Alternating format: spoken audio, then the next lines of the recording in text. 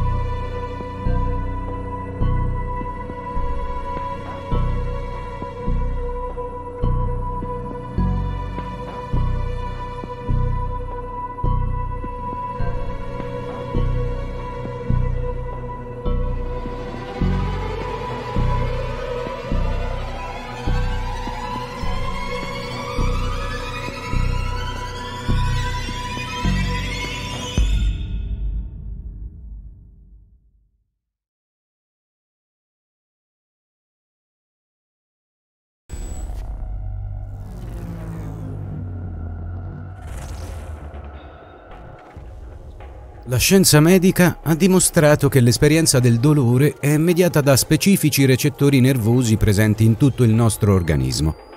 Il termine tecnico per indicarli è nocicettori. Se per esempio ci prendiamo a martellate un dito o calpestiamo un chiodo camminando scalzi per il giardino, saranno i nocicettori a ricevere l'informazione dall'esterno. Ti sei spaccato l'unghia del pollice, ti sei infilzato la pianta del piede, e a trasmetterla al cervello per mezzo del sistema nervoso. L'evento verrà elaborato in tempi infinitesimali, quanto basta perché il messaggio venga inviato alla parte del corpo ferita attraverso l'esperienza del dolore. Si può dunque affermare che il dolore abbia una funzione positiva, rappresentando una comunicazione inviata a noi stessi che ci informa di un danno subito, impedendoci per esempio di continuare a colpirci il pollice con il martello fino a spappolarlo o di saltare su quel chiodo per tutto il pomeriggio. Fatto curioso, l'unico punto del corpo umano in cui i nocicettori sono assenti sarebbe proprio il cervello. È infatti noto che quest'organo non possa provare dolore. Tuttavia, Daniel Verdini in questo momento si trova in disaccordo con tale affermazione. Per essere più precisi, in questo istante, Daniel Verdini ritiene che tale affermazione sia una delle più grandi stronzate mai pronunciate. Avete mai provato la sensazione di avere il cervello penetrato da una lunga e sottile punta di trapano? Qualcosa di acuminato e implacabile? Qualcosa che fa mentre ruota su se stesso prendendo velocità. Quella punta, appoggiata al centro della fronte, lascia solo un minuscolo foro rosso dove ha iniziato a scavare il tunnel, che dalla vostra pelle, penetrando le ossa del cranio, si fa strada attraverso la molle materia grigia, fino a raggiungerne il flaccido nucleo centrale. Dall'interno di quella massa buia, calda e pulsante scaturiscono lampi tanto accecanti da far dimenticare dove ci troviamo o addirittura il nostro nome. Nel tentativo di cancellare o almeno di attutire quel suono, Daniel infila la testa sotto il cuscino. Il cambio di posizione fa esplodere una fitta tonante, un potente gong che propaga la sua vibrazione all'interno della scatola cranica, saturandola di frequenze scure e velenose. Daniel mantiene la posizione, tiene duro, quasi non respira, fino a che l'eco di quelle onde si placa in un nuovo silenzio. Devo solo rimanere perfettamente immobile, pensa, e il dolore non riuscirà a trovarmi. Dilata il tempo che intercorre tra ispirazioni ed espirazioni. Immagina baite in mezzo al bosco, montagne coperte di neve, cercando di riaddormentarsi prima possibile. Dietro alle palpebre chiuse vede un caminetto acceso, le travi di legno sul soffitto. Qui sono al sicuro, riflette mentre si abbandona all'illusione di trovarsi in un luogo remoto.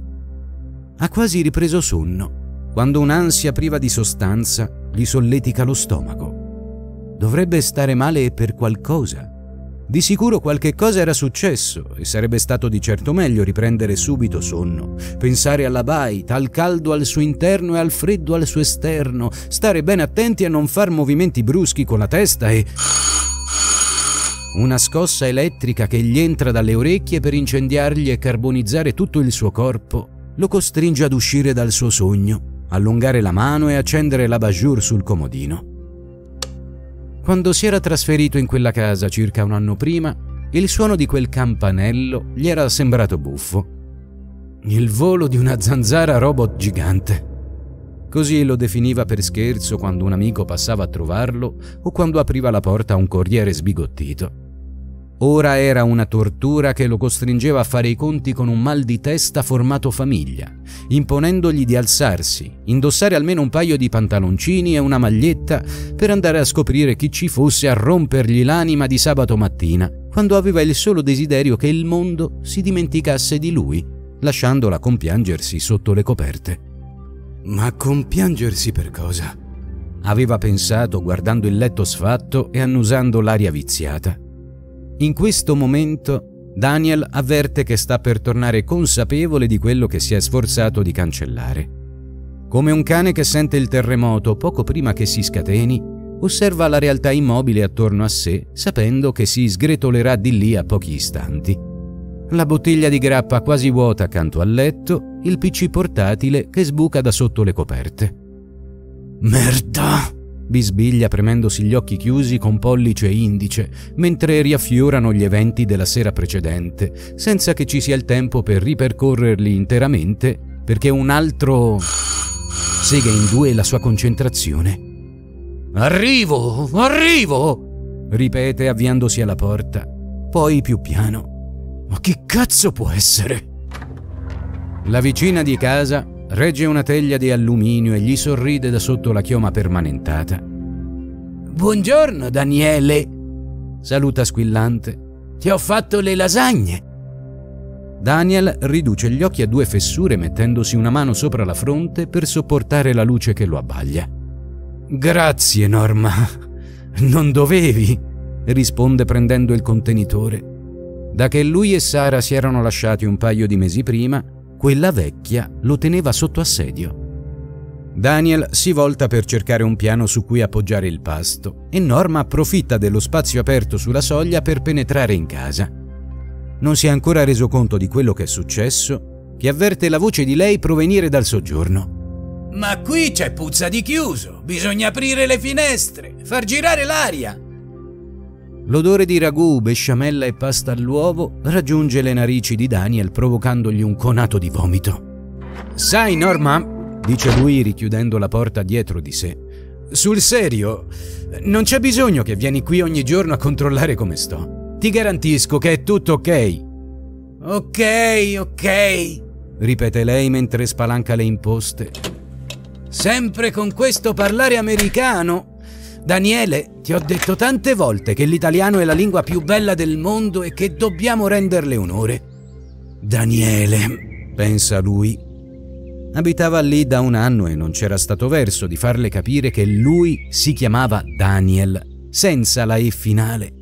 Ogni volta che glielo ricordava, lei alzava le spalle e affermava che in Italia bisognasse dire Daniele. Dai, Norma, lascia stare. Prova a trattenerla mentre lei sparecchia i piatti della sera prima e li mette a mollo nel lavello. Guarda qua che porcile! dice parlando come se lui non fosse presente e quella non fosse casa sua. Afferra una scopa e inizia a spazzare il pavimento. Daniel avverte una pulsazione ritmica ai lati del cranio, proprio all'altezza delle tempie. Gli sembra che lì sotto ci sia qualcosa di sferico e duro, Immagina due palline da golf che premono per lacerargli la pelle e saltar fuori. Un pensiero gli attraversa la mente. Quello di prendere un grosso e affilato coltello da cucina e incidere il punto in cui percepisce il dolore. Quasi le vede quelle grosse biglie venire iettate dalla ferita, sparate via come il pus che gonfia un brufolo. Le immagina rotolare sul pavimento coperte di sangue e grumi carnosi, lasciandosi dietro resti di materia organica. Che liberazione sarebbe stata. Immaginava il mal di testa svanire, mentre quelle orrende sfere si sarebbero dissolte al contatto con la luce solare. Purtroppo però la realtà è che in questo momento ogni parola di norma, pronunciata con le frequenze vocali di un canarino, è un ago arroventato che gli entra per la pupilla e gli si ficca in fondo al cervello. Ripensa alle bevute dei suoi vent'anni, a come poteva sfasciarsi la sera e alzarsi il mattino successivo dopo solo un paio di ore di sonno, risultando perfettamente efficiente. Come se non bastasse, la sera prima era così sbronzo da essersi dimenticato il suo cocktail antipostumi brevettato Verdini. Prima di coricarsi, 1. Bere mezzo litro d'acqua a temperatura ambiente. Dove vuoi scaldarle le lasagne? Perché non hai ancora comprato il microonde? La voce di Norma lo rende consapevole del pasto che lo attende.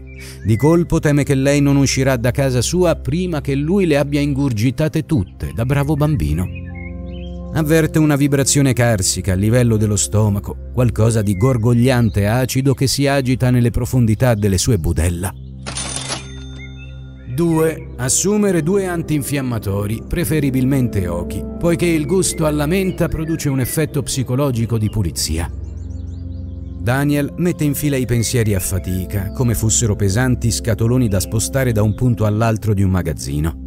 Soprattutto, ora riflette sul fatto che probabilmente la vicina è impazzita, essendogli piombata in casa di prima mattina con una teglia di lasagne. Magari è stata sveglia tutta la notte a cucinare, pensa. Magari le sta pigliando un coccolone o l'Alzheimer, chissà. Spera solo che non svenga lì davanti. Veramente, io di solito per colazione prendo il tè coi biscotti. Butta là Daniel con un mezzo sorriso, mentre inizia a propria volta a riordinare. Prende un libro che sta sul tavolo e lo mette su uno scaffale. Stira e piega una maglietta abbandonata sopra una sedia. 3. Parte più difficile. Bere un altro mezzo litro d'acqua a temperatura ambiente e assumere due o tre aspirine. Norma lo squadra stringendo in mano la scopa. Daniel visualizza la scena in cui lei lo insegue attraverso la casa per percuoterlo. La vecchia è minuta, ma tutta nervo. In uno scontro fisico è possibile che in quel momento lui avrebbe la peggio. Lo sguardo di Daniel scivola lungo la parete, sui poster dei film francesi che aveva voluto appendere Sara, sulla mensola con le spezie, sul calendario fisso a marzo da due mesi, per fermarsi infine sull'orologio dei Simpson, retaggio degli anni universitari, dalle cui lancette apprende che mancano solo 5 minuti a mezzogiorno. 4. Svuotare la vescica. Se le vostre condizioni lo permettono, effettuare una doccia calda. L'acqua rilasserà la muscolatura e il sapone contribuirà ad attenuare il senso di schifo verso voi stessi e la situazione in generale, specie se dopo aver bevuto avete straparlato o vi siete resi ridicoli. Importante. Non dimenticare di lavarsi i denti. Per ottimizzare i tempi, effettuare l'operazione direttamente sotto la doccia. Ma non so io dove andremo a finire con questi giovani che passano tutto il giorno a letto esclama Norma mentre molla la scopa e accende il forno. Si dirige verso Daniel, lo spinge da parte e recupera la teglia che lui aveva appoggiato sul tavolino in ingresso. Ascolta chi ha qualche anno più di te, continua lei. Stare a poltrire non ti aiuterà. Nella vita bisogna darsi da fare.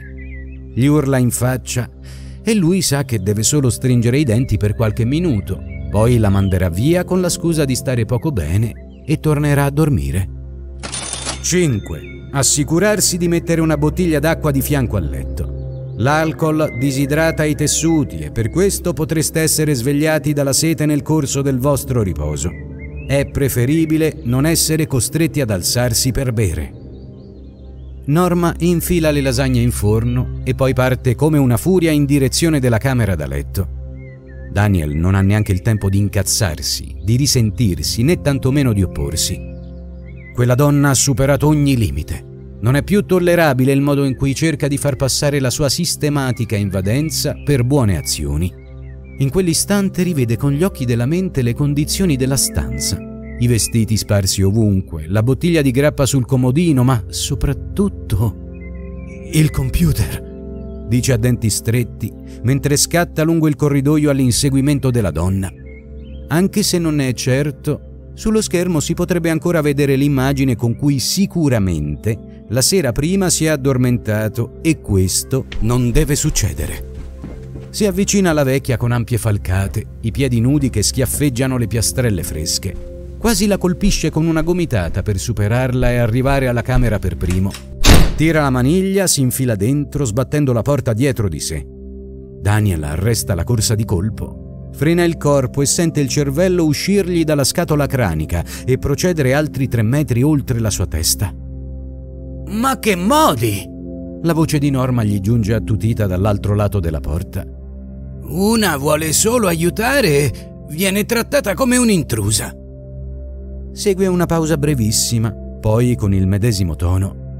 Intanto che nascondi i giornaletti sporchi, io apparecchio. Un borbottio indistinto e decrescente, simile al suono di una pentola di fagioli sul fuoco, indica il suo allontanamento. 6. Assumere un paio di gocce di Lexotan o simili per scacciare la fastidiosa tachicardia che sempre si manifesta in queste circostanze. È solo poca roba, direte, ma vi garantisco aiuta. Evitare schermi luminosi, al massimo leggere qualche riga di un libro. Con la testa tra le mani, Daniel si strugge per non aver seguito il suo collaudato protocollo. Poi apre la finestra, nasconde la bottiglia in un cassetto infila i vestiti sparsi nella cesta della roba sporca e si avvicina al computer portatile che sbuca da sotto la trapunta. Lo schermo è nero, ma non appena Daniel ne sfiora la tastiera, si accende facendo riapparire quell'immagine, proprio l'ultima che ricorda di aver visto prima di perdere conoscenza. La osserva per qualche istante, accarezza lo schermo con le dita. Dove tieni i piatti piani? L'urlo di Norma lo strappa dai suoi pensieri mentre lui chiude il portatile. Si guarda allo specchio. È spettinato, occhiaie come totani e pelle grigia. Merda, si dice. Devo smetterla. Ma prima di avviarsi verso la cucina e affrontare l'intrusa, non resiste dal lanciare un ultimo sguardo al PC. Giornaletti sporchi, pensa. Mi avrebbero imbarazzato di meno anche se a ben vedere non si tratta nemmeno di una questione di imbarazzo, ma di semplice riservatezza, venata al limite di un po' di gelosia. È solo mia, dice guardandosi le sclere arrossate nel riflesso dello specchio. Dalla cucina comincia ad arrivare il profumo delle lasagne, risvegliando in lui un ricordo, qualcosa che gli dà un po' di forza per sopportare quei postumi lancinanti. Da dove l'ha pescato la sua mente? fine delle superiori o erano i primi anni dell'università. Ma poco importa, era un'altra vita e aveva tutt'altra tenuta. Come aveva constatato quella mattina, tuttavia, dopo una sbronza, mangiare cibo grasso e bere almeno un litro di Coca-Cola. Se non si sbagliava, doveva essercene ancora una bottiglia in frigo.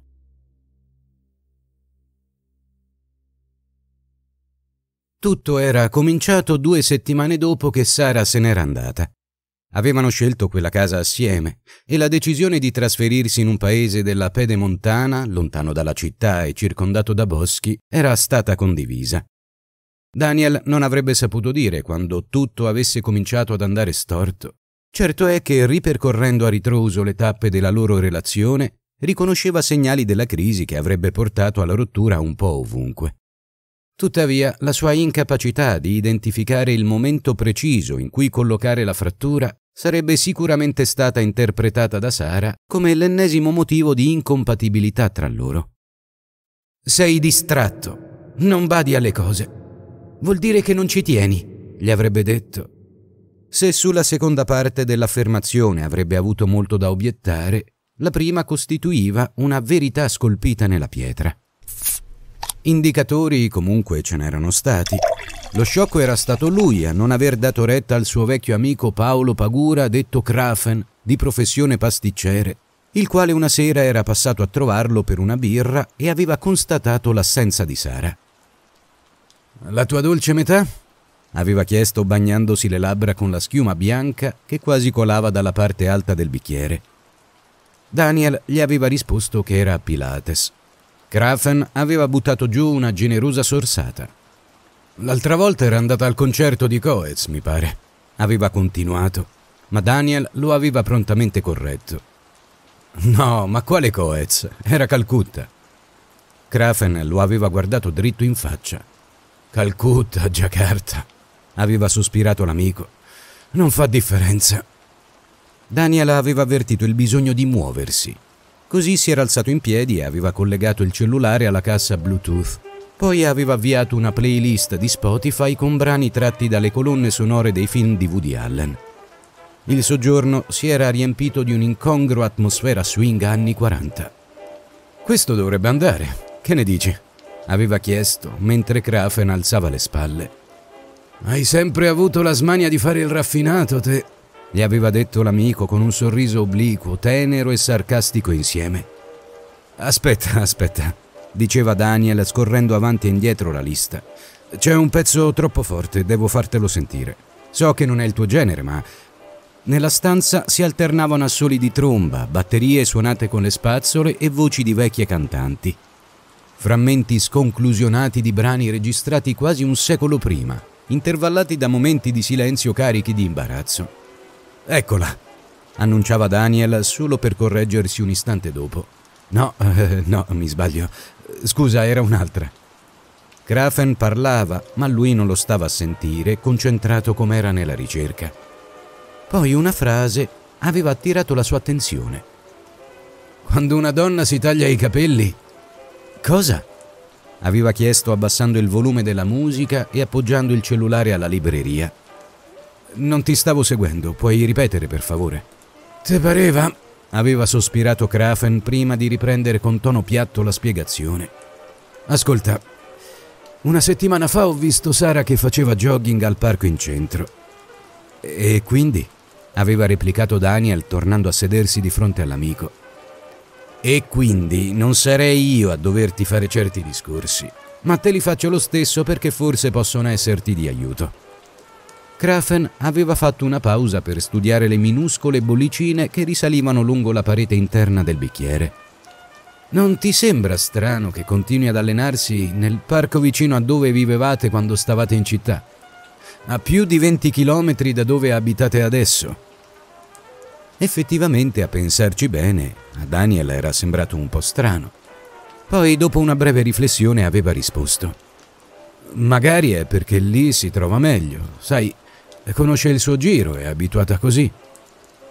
Avendo voluto esaminare la faccenda con attenzione, Daniel avrebbe sicuramente notato che gli impegni sportivi di Sara si erano sensibilmente intensificati negli ultimi mesi corsa, pilates, nuoto.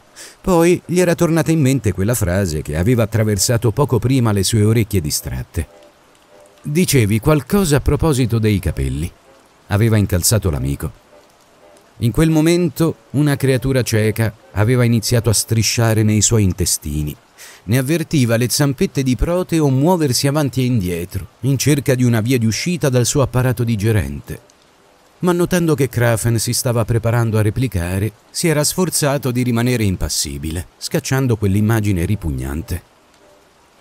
Già, aveva finalmente risposto, come se si stesse strozzando con un nuovo sodo. Quando l'ho incrociata al parco ho visto che adesso ha un taglio corto, un bel caschetto, quello che verrebbe senza dubbio definito un look deciso. E quindi aveva chiesto Daniel riprendendo ad armeggiare con il telefono. Mi sembra strano che un over 30 come te non conosca la legge della compresenza. Legge della compresenza? aveva ripetuto Daniel credendo di intuire dove l'amico volesse andare a parare. Esatto, Danny Boy, aveva replicato preparandosi all'enunciazione. Una donna che cambia look, specie se passa qualcosa di più aggressivo, capello corto, tacchi alti, capi leopardati, e contestualmente si mette a fare sport, sta per mollare il partner. La presenza di uno solo dei due fattori rappresenta di per sé un rischio, ma la loro compresenza costituisce invece una certezza. Mi dispiace, amico. Mi dispiace sul serio. Krafen aveva terminato la birra e ora fissava il fondo del bicchiere verso cui stavano scivolando i residui schiumosi della bevuta. Ma che cazzo di legge è? aveva ribattuto Daniel schernendolo. Cos'è? Una non può tagliarsi i capelli e volersi tenere in forma che diventa subito una zoccola. Non ho detto questo, aveva risposto Krafen con lo sguardo basso. Daniel avvertiva la faccia diventargli calda, le orecchie in particolare parevano prendere fuoco. Per qualche istante si era sentita solo una vecchia canzone swing. Daniel si era aspettato che Krafen si spingesse quantomeno ad ammettere la possibilità che la sua analisi potesse risultare errata. Dopotutto non stavano mica parlando di una funzione matematica. Tuttavia aveva continuato a tacere, emanando un'aura che pareva più di rassegnazione che di ostinazione. Senti, Krafen, aveva attaccato Daniel. So che parli con buone intenzioni, lo so che a te è andata male con la tua ex tipa, ma ti assicuro che con Sara è tutto a posto. Krafen si era alzato dalla sedia e si era infilato la giacca. Ma sì, si era sforzato di concedere. Magari sono io che mi sbaglio, anche se in effetti finora la legge della compresenza è sempre... Non esiste nessuna legge della compresenza. Era sbottato Daniel. Poi i due si erano guardati ed erano scoppiati a ridere. Quando lo aveva accompagnato alla porta per salutarlo, Daniel aveva ancora il telefono in mano. Ciao vecchio, gli aveva detto assestandogli una pacca sulla spalla. La prossima volta vengo io a trovarti in The City. Sì, come no, aveva ribattuto Krafen accendendosi una sigaretta. Poi Daniel aveva percepito una vibrazione nella mano. Krafen gli aveva prima guardato il cellulare e poi la faccia. Daniel, senza sapere perché lo stesse facendo, come vedendosi agire dall'esterno, si era portato il telefono davanti agli occhi e aveva aperto l'applicazione di messaggistica. È eh, Sara, aveva detto la sua bocca autonoma rispetto alla volontà. Dice che stasera si ferma a bere qualcosa con il gruppo di Pilates. Krafen aveva ricambiato la pacca dell'amico e si era allontanato senza parlare, seguito dalle nuvolette di fumo della propria sigaretta.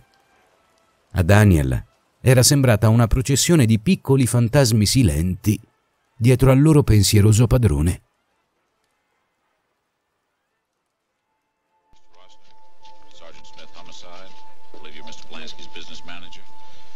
Il resto del sabato trascorre nella nebbia analgesica, in dormiveglia davanti a serie tv, fino a che i personaggi sullo schermo entrano nel sogno e il sogno sconfina nella realtà.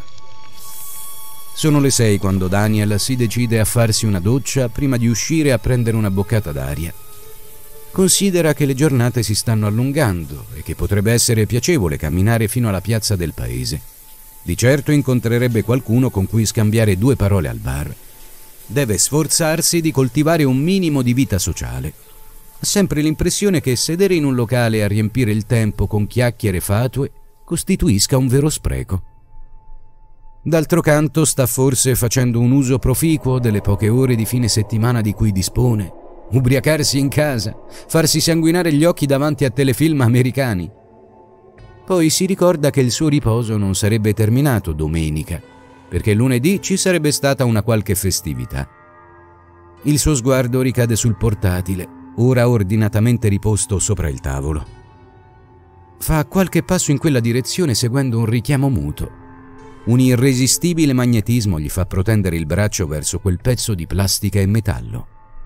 Le ginocchia si piegano. Si sta per sedere. Solo cinque minuti.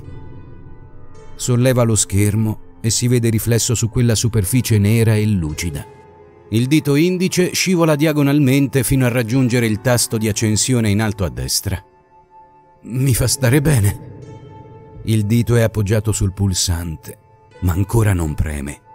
Daniel osserva meglio la propria immagine su quello strano specchio. Ha la sensazione di guardare un mare di notte, in cui le increspature superficiali prendono la forma delle sue sembianze.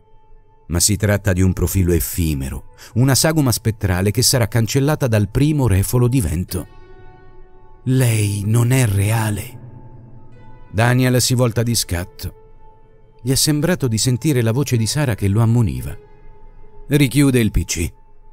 Beh, tu cosa ne sai? Domanda in tono piagnucolante rivolto ai mobili di una stanza vuota. Tanto tu hai il tuo nuovo ganzo. Cosa te ne frega se lei è o non è reale? Ma come è naturale, non arriva nessuna risposta. Si guarda attorno senza riuscire a dissipare la sensazione di aver udito davvero quelle parole. Sabato sera, domenica e lunedì, pensa Due giorni e mezzo per rimettersi in carreggiata, per darsi un po' di disciplina e lasciarsi finalmente alle spalle la storia con Sara. Sfiora ancora una volta il computer. Dopo, dice prendendo chiavi, portafoglio e telefono, uscendo finalmente di casa. Sono le due di notte passate quando Daniel infila piano la chiave facendo scattare la serratura della porta. Si libera dalle scarpe faticando a rimanere in equilibrio. Poi si muove al buio aiutandosi con la luce del cellulare. L'ambiente del soggiorno, esplorato con quella piccola torcia, sembra il relitto di una nave come si vede in certi documentari. La luce si posa su una sedia, sul televisore e sulla libreria, riuscendo a rivelare solo alcuni dettagli degli oggetti che incontra. Si sfila la giacca, sempre attento a non far rumore, ma l'inutilità di quell'accortezza si manifesta abbagliante, dissipando i fumi dell'alcol e ricordandogli che Sara non abita più lì e che non c'è nessun altro in quella casa che potrebbe essere svegliato dal suo rientro a tarda notte. Malgrado questa rivelazione, però, Daniel non accende la luce, continuando a muoversi per la casa utilizzando la lampadina del cellulare, neanche fosse un ladro. La casa è immersa in un'atmosfera stregata, tipica delle stanze familiari nel cuore della notte, che fa sembrare che tutti gli oggetti presenti siano stati sostituiti da delle loro copie identiche. Stavolta dispone di quel tanto di lucidità necessaria per ricordare di buttare giù un paio di occhi insieme a mezza bottiglia d'acqua. Sa di dover andare a dormire, sente il sonno che lo ammazza, ma non crede di riuscire a reggere quel momento, per quanto possa essere breve, in cui disteso a letto dovrà fare i conti con i propri pensieri. Vorrebbe svenire, perdere conoscenza all'istante un bell'interruttore sulla nuca sarebbe perfetto. On, off e buonanotte. Pensa, appoggiando la bottiglia sul bancone della cucina. Il fascio di luce attraversa il liquido trasparente racchiuso in quel contenitore di vetro e nell'oscurità generale gli rimanda riflessi azzurri che quasi lo commuovono, evocando in lui un'idea di purezza e semplicità che sente remote, appartenute forse alla sua infanzia barcolla fino al computer portatile, lo afferra e lo porta con sé in camera. La regola 6 prevederebbe di evitare gli schermi luminosi. Che disturbino il sonno non c'è dubbio, ma Daniel ha anche questa curiosa teoria, secondo cui le immagini che prendono forma davanti alle palpebre abbassate entrano comunque nella pupilla distorcendo i sogni, condizionandone lo sviluppo. Ed è esattamente ciò che va cercando. Questa è un'altra storia.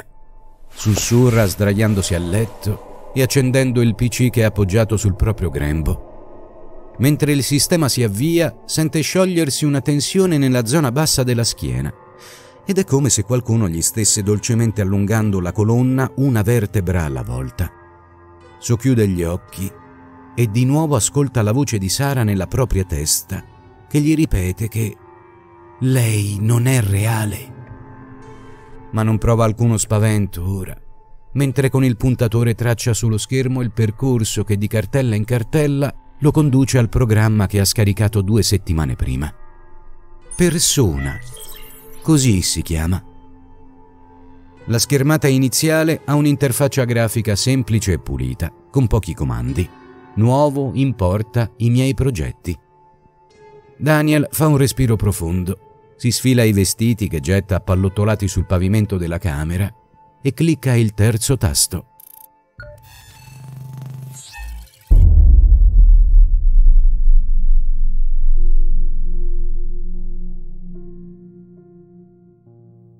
Era stato un amico che si occupa di pubblicità a parlargli di persona. Daniel non sapeva niente riguardo l'intelligenza artificiale se non quello che sanno tutti ovvero che si potevano fare cose incredibili attraverso l'inserimento di istruzioni testuali. Scrivendo per esempio componi canzone stile Nirvana, il computer avrebbe elaborato in pochi istanti un brano inedito con tutte le caratteristiche tipiche del suono del gruppo. Lo stesso si poteva ottenere con le immagini statiche. Con qualche digitazione si poteva disporre di un file in cui si vedeva il presidente russo baciare in bocca quello americano o un orso polare fare skateboard sulla luna. L'amico pubblicitario utilizzava anche dei programmi specifici per l'elaborazione di testi. Gli aveva mostrato come, digitando nell'apposito campo scrivi descrizione cucina rustica per catalogo, il programma aveva fornito un testo credibile che lui aveva copiato e incollato sul file a cui stava lavorando. Tanto questa roba non la legge nessuno, aveva spiegato. La porzione testuale serve solo a dare un bilanciamento alla pagina. In un primo momento Daniel era rimasto strabiliato da quanto l'amico gli aveva rivelato aveva immaginato le potenzialità di quegli strumenti che riteneva si sarebbero evoluti ulteriormente nel giro di poco tempo. Poi un'inquietudine venata di rabbia aveva preso forma in lui. Che ci stavano a fare le persone? Dove sarebbero andate a finire la creatività e la fantasia una volta che tutto fosse stato demandato a processi informatici predeterminati? Ne avevano discusso, ma l'argomento lo aveva presto annoiato. Ci potevano essere mille implicazioni etiche e filosofiche in quei processi, a partire dalla sostituzione degli uomini con le macchine, la colonizzazione e lo smantellamento degli immaginari, le forme di controllo della comunicazione. Tuttavia, in quei giorni che avevano seguito la rottura con Sara, Daniel non era nelle condizioni né aveva interesse ad elaborare teorie in merito. Successivamente il lieve senso di repulsione per i prodotti generati dall'intelligenza artificiale si era mescolato a una curiosità pigra e passiva che si era esternata nel guardare video in internet. Ciò che lo avvinceva non era tanto la plausibilità di quelle immagini o di quei suoni, caratteristica per la quale, a seconda dell'utente, suscitavano entusiasmo o terrore, ma il loro non essere mai perfettamente a fuoco c'era infatti qualcosa di sfuggente nei particolari visivi e audio generati dall'intelligenza artificiale, che contribuiva a rendere i video al contempo realistici e onirici. Se si guardava la scena distrattamente nel suo complesso, tutto risultava abbastanza credibile, ma se si cominciava ad osservare un dettaglio, come una mano, una sedia, il ramo di un albero, questo si rivelava tremulo e indefinito, pronto a mutarsi in qualcosa di diverso aveva installato Persona una sera dopo che aveva dovuto sentire Sara al telefono. La chiamata era ruotata attorno all'opportunità di effettuare una voltura delle utenze di gas e luce. Sarebbe stato possibile che il nome di lei continuasse a figurare nell'intestazione delle bollette senza che per questo si generassero problematiche a livello burocratico. Non era riuscito a trovare una scusa migliore per chiamarla. E questo misero dilemma era tutto ciò che aveva ancora da condividere con lei. Dopo circa due minuti trascorsi a scartabellare bollette in cerca di codici cliente e numeri verdi, con il telefono stretto tra spalla ed orecchio, Daniel aveva riaperto il discorso fatto mille volte attorno alla loro rottura. Senti, Sara, scusa se te lo chiedo. Aveva buttato là, imbastendo su due piedi, qualcosa che si avvicinava a un tono ridanciano. Ma io non ho ancora capito perché ci siamo lasciati. Tu hai qualche idea? Si sforzava di parlare sorridendo, ma non appena aveva posto la domanda, i muscoli del collo gli si erano irrigiditi, sintomo di una rabbia crescente. Daniel, io ti voglio bene, lo sai. Aveva cominciato lei come tutte le altre volte in cui avevano affrontato quell'argomento. Ma sento il bisogno di definirmi da sola. Il nostro rapporto si è esaurito e io devo imboccare una strada diversa. Ancora non so dove mi porterà, ma, ma ho bisogno di dare ascolto alle mie emozioni. Sento l'impulso di viaggiare, la voglia di vivere avventure. Beh, ma non ti avevo proposto quella gita alle terme in Austria quest'inverno. Anche a me i viaggi. Lui l'aveva sentita sospirare dentro il ricevitore. Così si era interrotto. Lascia perdere. Aveva ribattuto lei con irritante tono zen. Non capisci. Ecco, se c'era stata una cosa che lo aveva esasperato, contribuendo a generare in lui una furia silenziosa che non aveva mai trovato modo di sfogare, era proprio il tono di lei, quel parlare da maestrina, quell'annoiata superiorità con cui lo metteva davanti alla presunta impossibilità che lui aveva di capire. In quel momento gli erano tornate in mente le parole di Krafen ed era stato certo che lei si fosse trovata qualcun altro già da tempo. Gli sembrava di vederlo, alto, abbronzato e muscoloso, con lunghi capelli biondi schiariti dal sole, una specie di surfista, uno che non fa un cazzo dalla mattina alla sera e blatera teorie New Age, fa massaggi shiatsu e ha un uccello che pesa un sette etti e mezzo. Daniel, lo sai che ti voglio bene. Aveva cantilenato lei in tono serafico.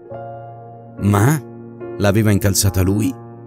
Ricordava tutti i confronti propedeutici alla rottura, scene di una pacatezza assoluta. Nessuno aveva alzato la voce, nessuno aveva rotto un piatto, era uscito sbattendo la porta. Il processo si era svolto nel giro di pochi giorni e si era concluso con una borghese stretta di mano. Solo in quel momento Daniel aveva capito il motivo che lo aveva spinto a cercarla. La voleva di nuovo con sé, ma al contempo voleva distruggerla, sputarle addosso tutta la rabbia e il dolore che avevano provocato in lui quello che più che una decisione consensuale era stato un abbandono. Ma... aveva balbettato lei. Nella mente di Daniel il surfista si stava avvicinando a Sara e le stava appoggiando le forti mani sulle spalle mentre le sussurrava di lasciar perdere quel coglione del suo ex fidanzato. Ma se mi vuoi tanto bene, perché te ne sei andata? Le aveva chiesto lui gelido. Te l'ho detto. Tra noi c'è una distanza emozionale e io devo definirmi come individuo a prescindere da un compagno. Basta con queste cazzate da hippie! Aveva urlato lui. Era seguito un lungo silenzio in cui Daniel sentiva il proprio cuore battere così forte da scardinargli lo sterno. Respirava affannosamente e stringeva il cellulare al punto che la plastica stava cominciando a scricchiolare. Sara aveva impostato un tono misurato e freddo. Non capisci, aveva detto. E allora spiegati meglio, aveva controbattuto lui. Sai, io sono un po' gnucco e, e queste storie delle energie e delle emozioni proprio non le afferro. Non ti permettere di prendermi in giro. Nel corso di mindfulness che ho seguito. Mindfulness? aveva ripetuto Daniel. Questa mi giunge nuova. È perché non ascolti. Non te ne è mai fregato niente. La voce di Sara si era fatta più sottile e più acuta, pur mantenendo il controllo che Daniel aveva già perso. Come fai a dire una cosa simile? aveva replicato Daniel. Sono stato io che ho messo assieme i soldi per la casa, io che ti ho aiutato a trovare il lavoro e ti permetti di dirmi che non me ne frega niente? Io, io, io. Aveva ragliato lei. La parola preferita del campione di empatia Daniel Verdini. Daniel stava andando a ripescare qualche episodio passato da sbatterle in faccia, qualcosa che le dimostrasse che si stava sbagliando, qualcosa per farle riconoscere che sì, anche se lei non lo vedeva, c'erano stati momenti in cui lui capiva, in cui lui aveva capito, in cui erano stati bene assieme. Cercava qualcosa per farsi chiedere scusa da lei, ma in quel momento non aveva trovato nulla, solo le rovine lasciate da un terremoto che aveva squassato e fatto crollare le sue strutture cerebrali. Immagini e suoni incoerenti gli lampeggiavano in testa tutti contemporaneamente il loro primo bacio, una gita a Venezia tanti anni fa, la volta in cui lei aveva la febbre a 40 e lui era stato tutta la notte sveglio a cambiarle la pezza bagnata sulla fronte. Ma erano frammenti, scintille che si sollevavano dal fuoco e sparivano nel buio della notte. Daniel aveva sentito il cuore e lo stomaco farsi bollenti. Aveva aperto la bocca per dirle che la amava ancora, che avrebbe fatto di tutto per aggiustare quello che si era rotto, che avrebbero ricominciato, ma tutto ciò che aveva prodotto era stato il latrato di un animale ferito a morte, in cui avevano preso corpo delle parole vagamente intellegibili. Allora vai, aveva sbraitato. Vai dal tuo surfista. Surfista? Aveva detto lei perplessa. Tu non stai bene. Aveva poi affermato prima di chiudere la chiamata. Così Daniel se n'era rimasto in cucina, sentendosi un patetico imbecille, chiedendosi come avrebbe fatto a ritrovare il coraggio di guardarsi allo specchio dopo essersi reso tanto ridicolo. Si era aperto una birra e si era messo a cercare video generati dall'intelligenza artificiale. Dopo un po', quando l'alcol era entrato in circolo, rilassandolo e annebbiandolo, si era lasciato trasportare da un filmato. proprio come altri che aveva visto in precedenza. Anche questo era insieme plausibile e onirico. Si trattava di una sorta di viaggio attraverso vari ambienti, visto in soggettiva. All'inizio ci si trovava in una foresta buia e gli alberi, benché realistici, davano l'impressione di essere animati da una blanda vitalità pulsante. Pareva che i rami, neri e contorti, si protendessero in direzione del viandante, ma non appena Daniel ne fissava uno in particolare, questo risultava subito immobile. È solo un'illusione ottica, pensava, ma mentre era distratto da quel singolo ramo, non notava che tutto il resto della figura era mutata, scivolando impercettibilmente verso la rappresentazione di un muro in cemento armato su cui comparivano delle scritte in un alfabeto che sembrava cirillico. L'esplorazione continuava e in sottofondo c'era una sorta di musica, un misto di frusci e suoni elettronici su una base cupa e notturna, e anche questa colava liquida senza che fosse possibile trattenere nella mente altro che piccoli frammenti di melodie remote. Poi una porta metallica che si trovava sul muro era scivolata lateralmente su uno dei binari arrugginiti consentendo l'accesso. L'interno della struttura era costituito da lunghi e spogli corridoi illuminati da luce al neon. Nell'attraversarli si voltava ora a destra, ora a sinistra, finendo tuttavia per ritrovarsi in un ambiente sempre uguale, una riproduzione perfetta del corridoio appena percorso. A quel punto nella musica, che nel frattempo si era fatta più dissonante, si poteva sentire un'eco lontana di rimbombi metallici provocati da giganteschi macchinari in azione da qualche parte nel bunker. Si giungeva a scale di ferro arrugginito, venivano aperte porte, si iniziava a procedere sempre più veloce, perdendo completamente la nozione del punto in cui ci si trovava in quel labirinto. A poco a poco il clangore delle macchine si faceva più nitido cresceva fino a diventare assordante, ma era impossibile trovare l'origine di quel suono. Dietro ogni porta c'era solo un nuovo corridoio uguale al precedente o una nuova scala di cui era impossibile stabilire se conducesse in alto o in basso. Daniel era stato riportato al presente dal battito del proprio cuore. Sembrava che stesse risalendo la gola per uscirgli dalla bocca. Porca puttana che viaggio! Aveva detto perdendo tuttavia la concentrazione e facendo svanire l'illusione che lo aveva vinto per qualche minuto. Aveva fatto per alzarsi e andare a prendere un'altra birra, magari controllare se Sara nel frattempo gli avesse mandato un messaggio per continuare la conversazione bruscamente interrotta poco prima, quando aveva notato un link apparso sotto il video. Crea anche tu i tuoi scenari da sogno con persona L'app di AI semplice e intuitiva a soli euro 9,99 al mese. Daniel aveva cliccato e senza troppa convinzione aveva scaricato il programma. Per 10 euro posso permettermelo adesso che non devo più offrire l'aperitivo a Sara, aveva pensato malignamente. L'imbarazzo per la perdita di controllo di poco prima gli aveva fatto provare vergogna per qualche istante ma aveva scacciato quel sentimento inutile mentre avviava il programma. Aveva attaccato un'altra birra e aveva premuto sul pulsante nuovo. Tanto i casi sono due, aveva detto a bassa voce mentre visualizzava una schermata nera al cui centro c'era una striscia bianca con un cursore lampeggiante. O non ci capisco niente o mi stufo dopo un'ora. Comunque, male che vada, disinstallerò il programma e avrò buttato i soldi.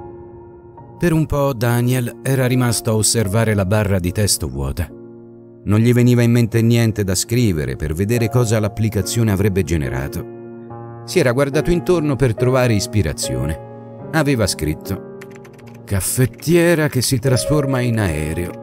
Surfista hippie con tentacoli al posto delle gambe. Ma aveva cancellato prima di premere invio. che stronzata aveva sussurrato rivolto allo schermo. Poi, giusto per dare un senso a quell'acquisto, ripensando allo spaventoso bosco che aveva visto poco prima, aveva digitato bosco, primavera, sole. Un istante dopo erano comparsi sullo schermo due pulsanti, immagine e video. Daniel aveva premuto il secondo. La richiesta era stata elaborata e successivamente si era avviato un filmato. Come il precedente, anche questo seguiva una sorta di movimento. Ma ora le fronde erano cariche di foglie di un verde acceso e attraverso esse arrivavano raggi di luce che disegnavano delle pozzanghere colorate lungo il sentiero. La musica si reggeva su accordi maggiori che sembravano prodotti da un organo a canne molto lontano. Più definite, invece, erano delle sequenze di note, gruppi di tre o quattro, prodotte da delle piccole campanelle. Daniel aveva seguito il percorso avvertendo un istantaneo rasserenamento interiore. Si era lasciato trasportare con crescente stupore, attraversando macchie di vegetazione, torrenti dall'acqua limpida e prati ricoperti di fiori gialli azzurri. Aveva avuto un sussulto quando in lontananza aveva visto uno scoiattolo attraversare con rapidi balzi il sentiero per poi arrampicarsi sul fusto di un frassino e sparire tra le sue foglie. Perso nella contemplazione, quasi non si era accorto che nella parte inferiore della schermata si poteva vedere in trasparenza il cursore lampeggiante davanti alla scritta Digita qui. Daniel aveva scritto Castello. E per un po' la scena era andata avanti come prima. Fino a quando, scostando il ramo di una siepe, si era trovato di fronte a un castello medievale, costruito proprio nel mezzo della foresta. A quel punto era squillato il telefono. Non era Sara, ma Krafen che lo avvisava di trovarsi da quelle parti e gli chiedeva se avesse voglia di uscire a mangiare qualcosa. Daniel aveva chiuso il PC e si era infilato la giacca e mentre scendeva in strada e le immagini che aveva visto al computer si disfacevano nella sua memoria come sogni rapidamente dimenticati, gli era venuta un'idea.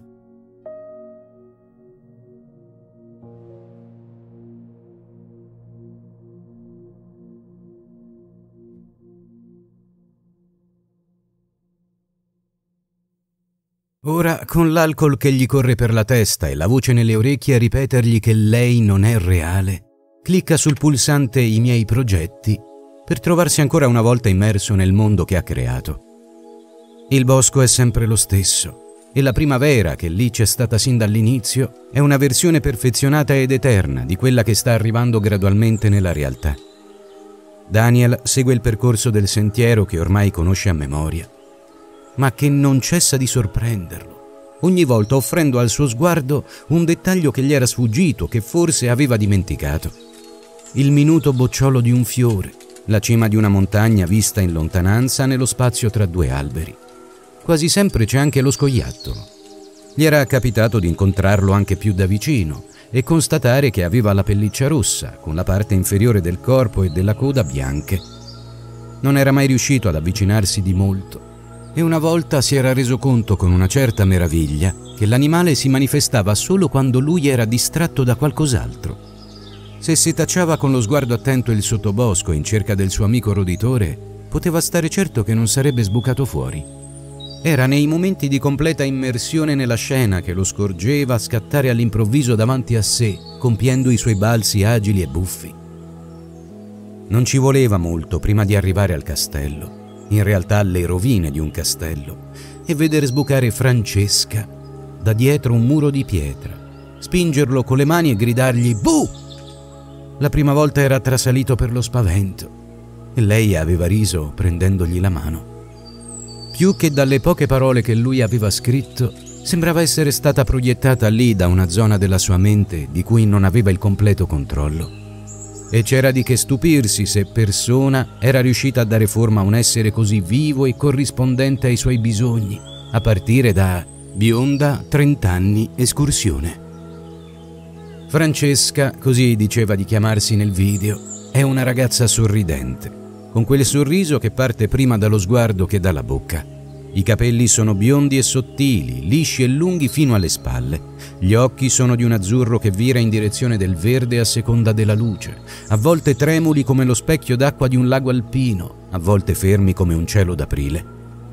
Anche l'incarnato, a cui Daniel non aveva dato importanza nel momento di scrivere le poche caratteristiche attraverso cui era stata portata in vita, era una fonte di stupore roseo e candido, appena spruzzato di graziose lentiggini sul viso all'altezza del naso e delle guance.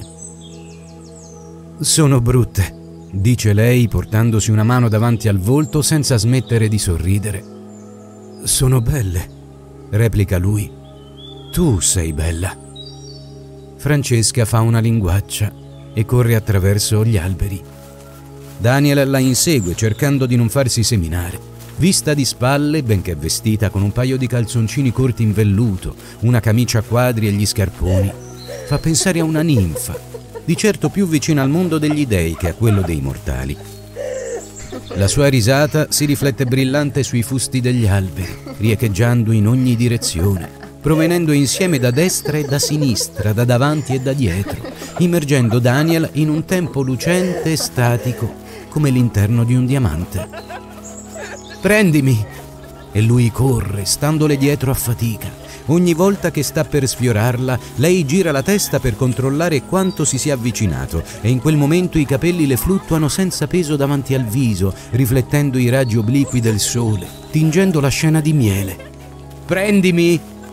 Il verde che attraversa cessa di avere la forma di foglie o erba per assumere quella di rapide pennellate orizzontali che si fanno più confuse con l'aumentare della velocità della corsa.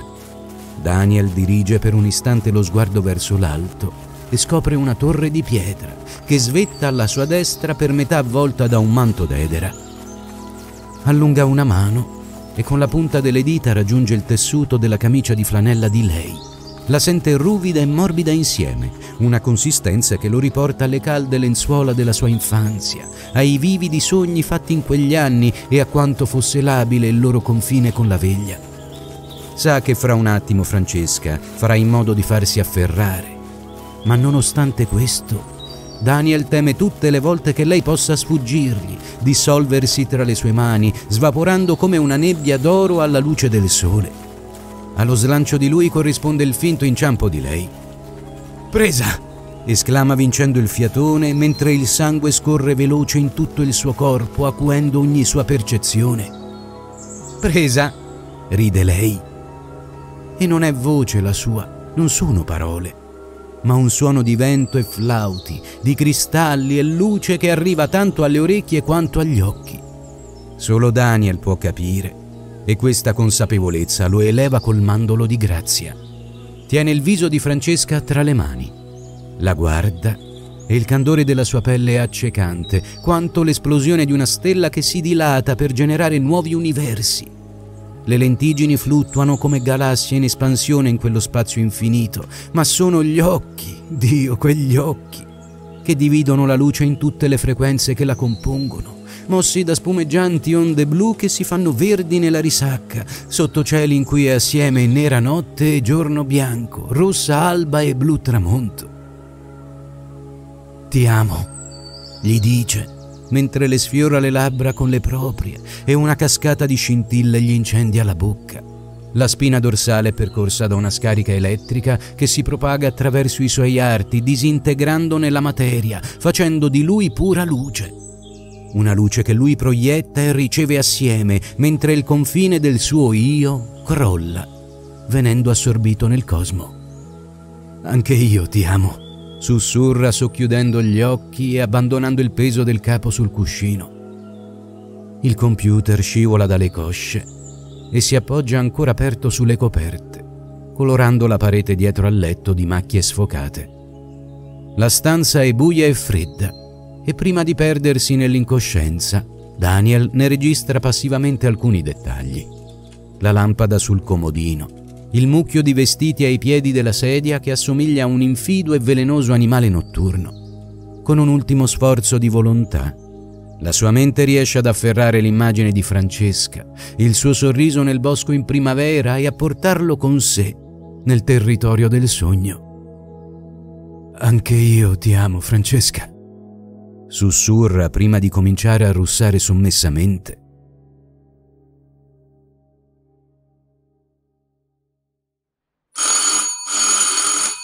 No, cicettori, pensa Daniel, ma non ha il tempo di svegliarsi né di mettere in fila i termini di un ragionamento, che quel suono lo sorprende trapanandogli il cranio senza pietà.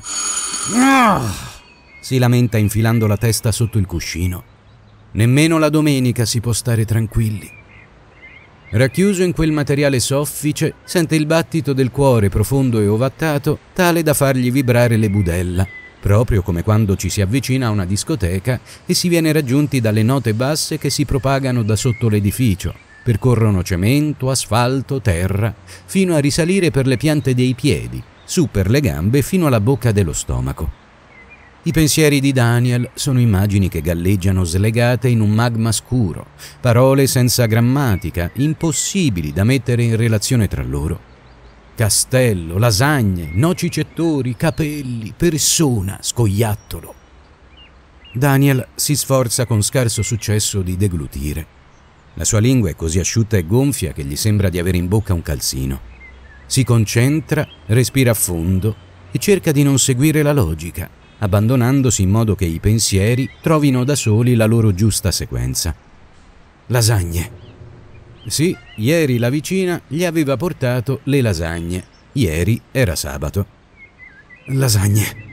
Aveva un mal di testa micidiale, ma dopo mangiato si era leggermente ripreso.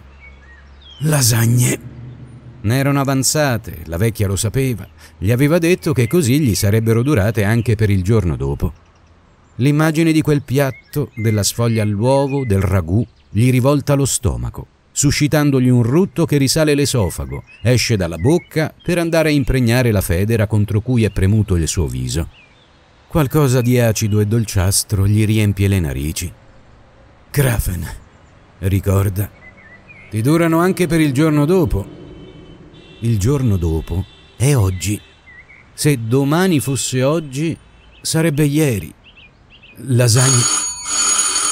Quella vecchia non mollerà mai. Facile che vada a chiamare i carabinieri se non alza il culo e corre ad aprire. Mai un attimo di tregua, mai. Daniel sbuffa, si arrotola nel lenzuolo, scalcia, poi si ferma. Immagina i due militari manomettere la serratura, entrare in casa sua, guardarlo con occhi neri e facce barbute e poi chiedergli perché diavolo non fosse venuto alla porta quando la sua adorabile vicina aveva suonato. Si dimena ancora perché sa che ormai dovrà alzarsi, ripetere dall'inizio la commedia del giorno precedente. Accende la luce, vede il mucchio di vestiti, il computer sul letto, la bottiglia di grappa. Arrivo, arrivo, pietà! Esclama mentre si dirige alla porta d'ingresso barcollando. Benché gli sembri di ricordare di aver preso un antinfiammatorio, il dolore alla testa è peggiore di quello del giorno precedente. Ieri. Se domani fosse oggi. Sarà perché non ha più vent'anni. Saranno le due serate di fila a bere. No cicettori. Un attimo, dice mentre la zanzara robotica si accanisce sul suo povero cervello ferito. Se domani fosse oggi, sarebbe ieri. Daniel afferra la maniglia, reprimendo l'istinto di mettersi a sbraitare contro la vecchia.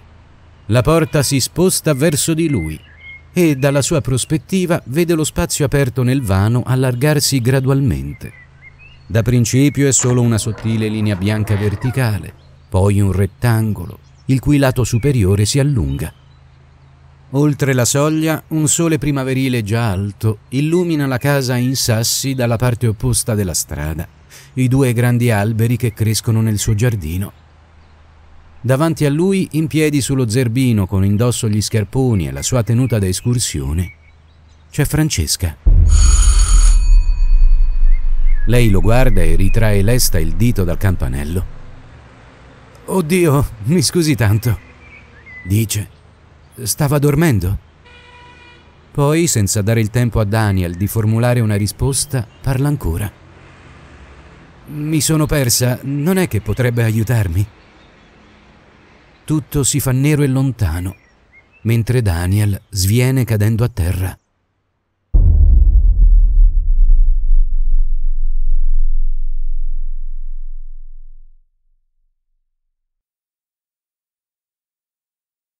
Quando riapre gli occhi si trova sul divano in soggiorno. Vede i propri piedi nei calzini appoggiati sul bracciolo. Sulla parete davanti a lui c'è uno di quei poster di film francesi. Non capisce perché Sara non se lo sia portato via. Forse lo ha semplicemente dimenticato lì. Non ha mai visto nessuno dei film alle cui locandine riempivano la loro casa. Non ne conosce nemmeno i titoli, ma a questo in particolare ci ha affezionato. Nulla di che Solo una bella ragazza con i capelli a caschetto e un giovane dall'aria ribelle con il bavero della giacca alzato. Gli erano sempre sembrati creature irreali, non attori che impersonavano un ruolo, ma per così dire personaggi puri, scissi dal loro simulacro umano. Quasi come degli angeli, pensa. Fa per alzare la testa e un dolore nuovo gli esplode sulla fronte. Oh, merda! Esclama toccandosi con cautela un bernoccolo duro e grosso come una noce. Fermo, non si muova, lo ammonisce qualcuno alla sua destra. Ruota il capo con cautela, trattenendo il respiro. Francesca è accovacciata sul tappeto ai piedi del divano. Ma cosa? chiede lui provando a mettersi seduto, mentre lei gli posa dolcemente le mani sulle spalle per farlo rimanere sdraiato. È svenuto, dice lei. Ha preso una botta in testa.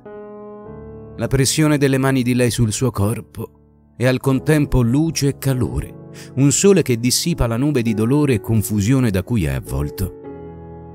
Wow, dice lui percependo nuove energie crescergli dentro. Avverte persino la muscolatura di braccia, gambe e busto farsi più tonica sente che in quel momento potrebbe caricare e scaricare un camion dei traslochi senza versare una goccia di sudore.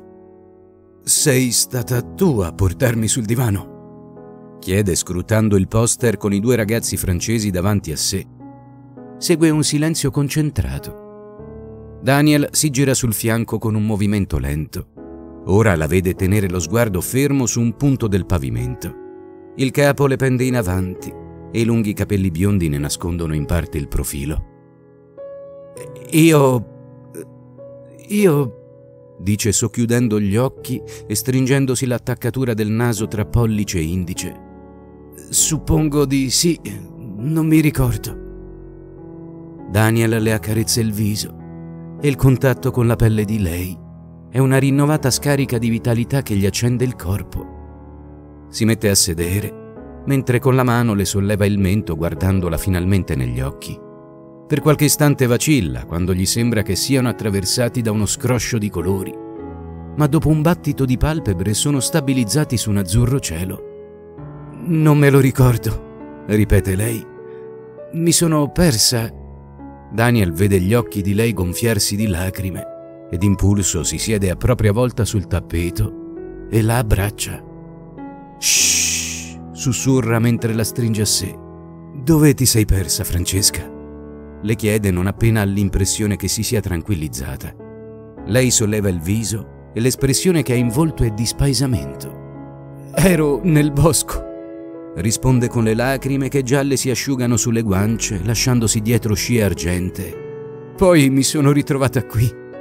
Ti va di tornarci con me, Daniel? Lui respira l'aria fresca che entra nel salotto dalla porta lasciata aperta. Il mal di testa è sparito.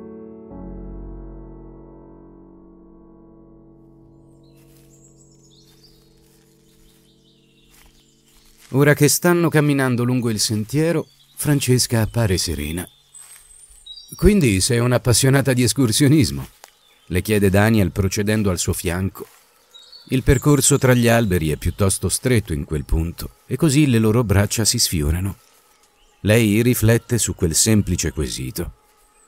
Suppongo di sì, ma, ma non devo essere troppo esperta se ho finito col perdermi, dice trattenendo una risata.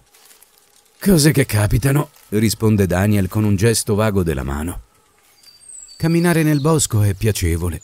Se si ascolta il silenzio che colma quello spazio, si scopre che è attraversato dal canto lontano degli uccelli e dal suono della brezza che tra le fronde agita le foglie, producendo parole sussurrate in un dialogo segreto.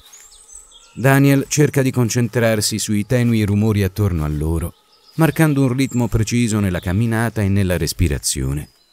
Quando si spinge a socchiudere gli occhi, crede di intuire una sorta di schema in quei suoni, quasi la loro casualità fosse solo apparente e si ripetessero in cicli prestabiliti. Qualsiasi cosa pur di non fare a Francesca le domande che avrebbe voluto. O stai impazzendo o stai sognando? Pensa, reprimendo la smorfia amara che sente affiorare sul suo viso, Perché, avverte il proprio pensiero assumere la voce di Sara, lei non è... A ogni contatto con il braccio di Francesca, Daniel percepisce scariche elettriche esplodergli in tutto il corpo e ad ognuna di queste manifestazioni il bosco attorno a lui appare con colori più vividi. Sai, dice lui, dietro questa montagna c'è un piccolo paese fantasma, abbandonato 50 anni fa dopo il terremoto. Lei fa scivolare la propria mano in quella di Daniel, tacitando la voce di Sara nella mente di lui. Forse è lei a non essere reale. È sempre stata lei. Pensa Daniel, constatando il calore della mano di Francesca, il suo peso, la sua morbidezza e il sottile velo di umidità che ne ricopre il palmo. Sente il piacere dello sforzo di salire lungo il sentiero, i polpacci tendersi e rilassarsi, il sudore che gli incolla la maglietta alla schiena. Non è mai stato tanto vivo. Parlami di questo paese, dice Francesca continuando a stringergli la mano. Daniel respira affannosamente. Non è abituato all'attività fisica. Molti anni fa ci abitavano circa 500 persone. Inizia a raccontare. Era il tipico paesino di una volta. Principalmente gli uomini facevano i boscaioli o erano piccoli allevatori. Le donne invece si occupavano della casa e dei bambini. Dopo la guerra il paese aveva cominciato a svuotarsi, sai. I giovani non trovavano più lavoro e il mondo stava cambiando ma è stato il terremoto a dargli il colpo di grazia. Da quella volta tutti gli edifici sono stati dichiarati inagibili e non c'era nessuno di abbastanza folle da voler investire tempo e denaro per mettere in sicurezza quello che era rimasto in piedi. Tanto prima o poi se ne sarebbero andati tutti comunque, così hanno detto. Ma la verità è che risultava molto più pratico spostare la popolazione che trovare un modo per consentirgli di continuare a vivere tra le loro montagne. Deve essere molto strano lasciare la propria casa, il proprio paese e ricominciare in un posto nuovo che non si conosce, dice Francesca riflettendo ad alta voce. Già, replica Daniel. E pensa che molte case sono comunque in piedi, tutto sommato in buono stato, piene della roba che quelli che ci abitavano non sono riusciti a portarsi dietro. Mi fa pensare a certe foto che ho visto in internet, risponde Francesca stringendogli la mano appena più forte posti da cui la gente è dovuta fuggire.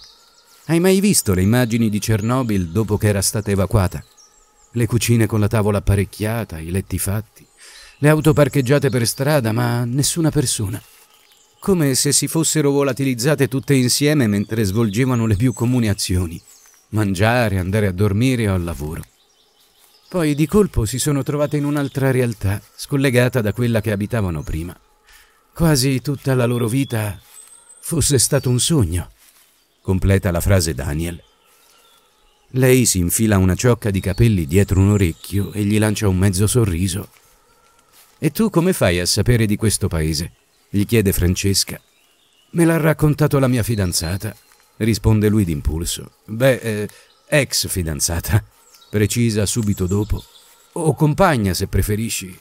Sai, dopo una certa età è un po' strano considerarsi ancora fidanzati, ma, ma in realtà anche se non si è sposati, tranquillo, dice Francesca. Non devi parlarmene per forza se non vuoi. Per qualche istante il silenzio fra di loro si fa denso e Daniel non sa se lasciarle la mano o continuare a stringerla. Poi riprende ad avvertire quei suoni che gli sembravano spariti, ma che erano stati sempre con loro. Gli uccelli, il quieto mormorio delle fronde, a cui si è aggiunto lo scorrere di un ruscello che ancora non riesce a vedere, ma che di certo è vicino. Ma se vuoi, sono qui, dice Francesca. Siamo qui, risponde istintivamente Daniel, rendendosi conto che sono arrivati all'accesso del paese. Il sentiero si è allargato e ora stanno percorrendo quello che resta di una vecchia strada. Benché l'erba sia cresciuta ricoprendo il manto di ghiaia, se ne intuisce ancora il tracciato, delimitato da blocchi di pietra ai margini.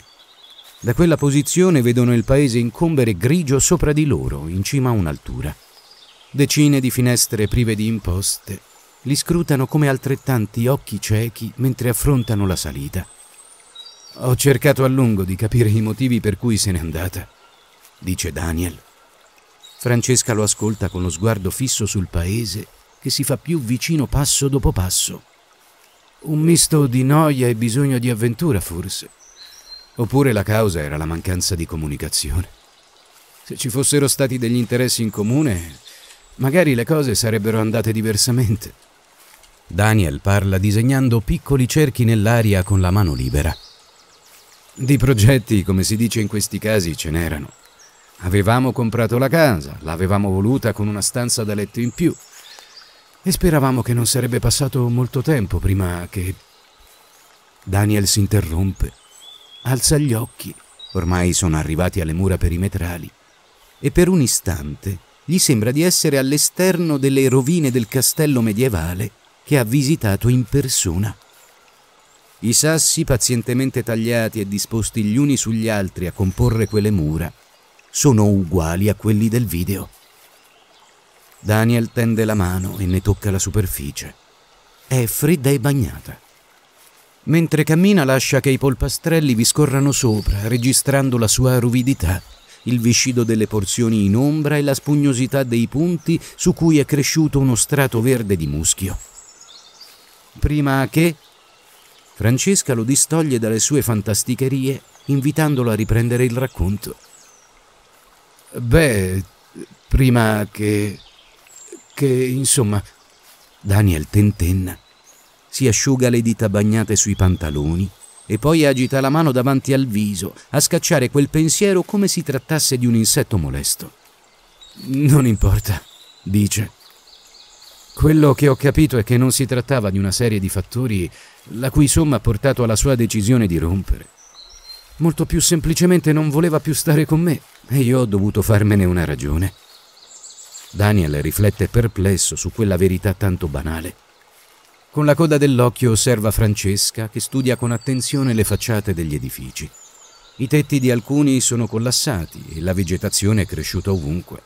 Passando di fianco a una finestra a livello del piano terra, vedono una stanza in cui ci sono ancora un paio di poltrone, un tavolo e una vecchia credenza presumibilmente un salotto, al cui centro cresce il grosso fusto di un albero.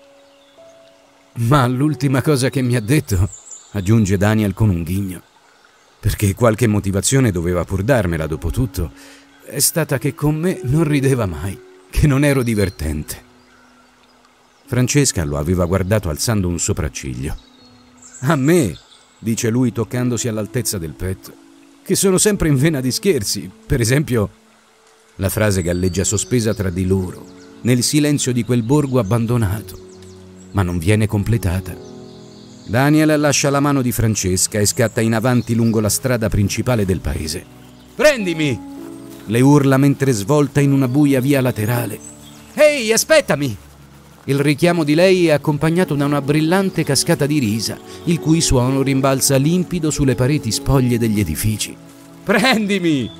Ripete Daniel mentre sfreccia attraverso vicoli che un tempo dovevano essere stati affollati. Nota di sfuggita alcune insegne appese ai muri, quella di un panificio e quella di un tabacchino, delle vetrine in frammenti e l'erba cresciuta all'interno e all'esterno del negozio. Corre fino a sbucare sulla piazza centrale, in cui l'edificio che ospitava il municipio e la chiesa si fronteggiano immobili e silenti. Corre dietro al campanile e lì resta con il cuore che gli pulsa nelle orecchie e il sudore che comincia a grondargli giù dalle tempie. Che stupidaggine, pensa. Era una cosa che avrei potuto fare all'epoca delle scuole medie. Ridacchia tra sé e sé mentre riprende fiato. Quando per far colpo sulle ragazze gli si facevano i dispetti. Prendimi! urla ancora, ma questa volta più piano, mettendo nella parola una sorta di cantilena. Con la schiena appoggiata al campanile, indirizza lo sguardo verso l'alto. Alcuni uccelli neri lo scrutano dalla cima dell'edificio. Il suono di ogni sua ispirazione ed espirazione è una parentesi entro cui era chiuso il silenzio assoluto di quel luogo. Ora la mossa giusta da fare sarebbe quella di cercare di capire dove lei, a girarla di soppiatto attraverso i vicoletti, sbucarle alle spalle e farle bu da dietro. Il battito del suo cuore si è normalizzato e Daniel si asciuga la fronte con il tessuto della maglietta, pronto per la manovra che ha pianificato. Sì, la farà saltare per lo spavento, ma poi rideranno insieme e sarà in quel momento che lei gli dirà che è uno scemo, lasciandosi abbracciare. Vede nella propria mente il volto di lei che si avvicina al suo. Lui le scosterà i capelli da davanti al viso e poi... Un urlo lancinante e ferino lo interrompe. Lo spavento è tale che sente lo stomaco comprimersi e gli arti farsi di colpo gelidi. Segue un intenso formicolio sulla nuca, quasi i capelli avessero deciso di crescergli di 10 centimetri nel giro di 5 secondi. Ma che cazzo? Sussurra tra sé e sé, considerando se possa trattarsi di qualche animale selvatico, magari un lupo o un orso. Con le ginocchia rigide come pezzi di legno, fa qualche passo in direzione della piazza. No, non poteva essere un lupo. Quelli del suo paese gli avevano detto che erano spariti ormai da anni. Forse una lince. La lince era una specie di gatto selvatico, giusto? Ricorda un'illustrazione vista da bambino sulle pagine di qualche enciclopedia. Il manto maculato, le orecchie a punta. Ma per quanto si sforzi, non riesce ad associare quel suono a un animale come quello. Gli era sembrato che provenisse da tutte le direzioni, intenso e straziante, come un torrente che aveva inondato le vie del paese. Magari un singolare fenomeno acustico, considera. In certe montagne l'eco...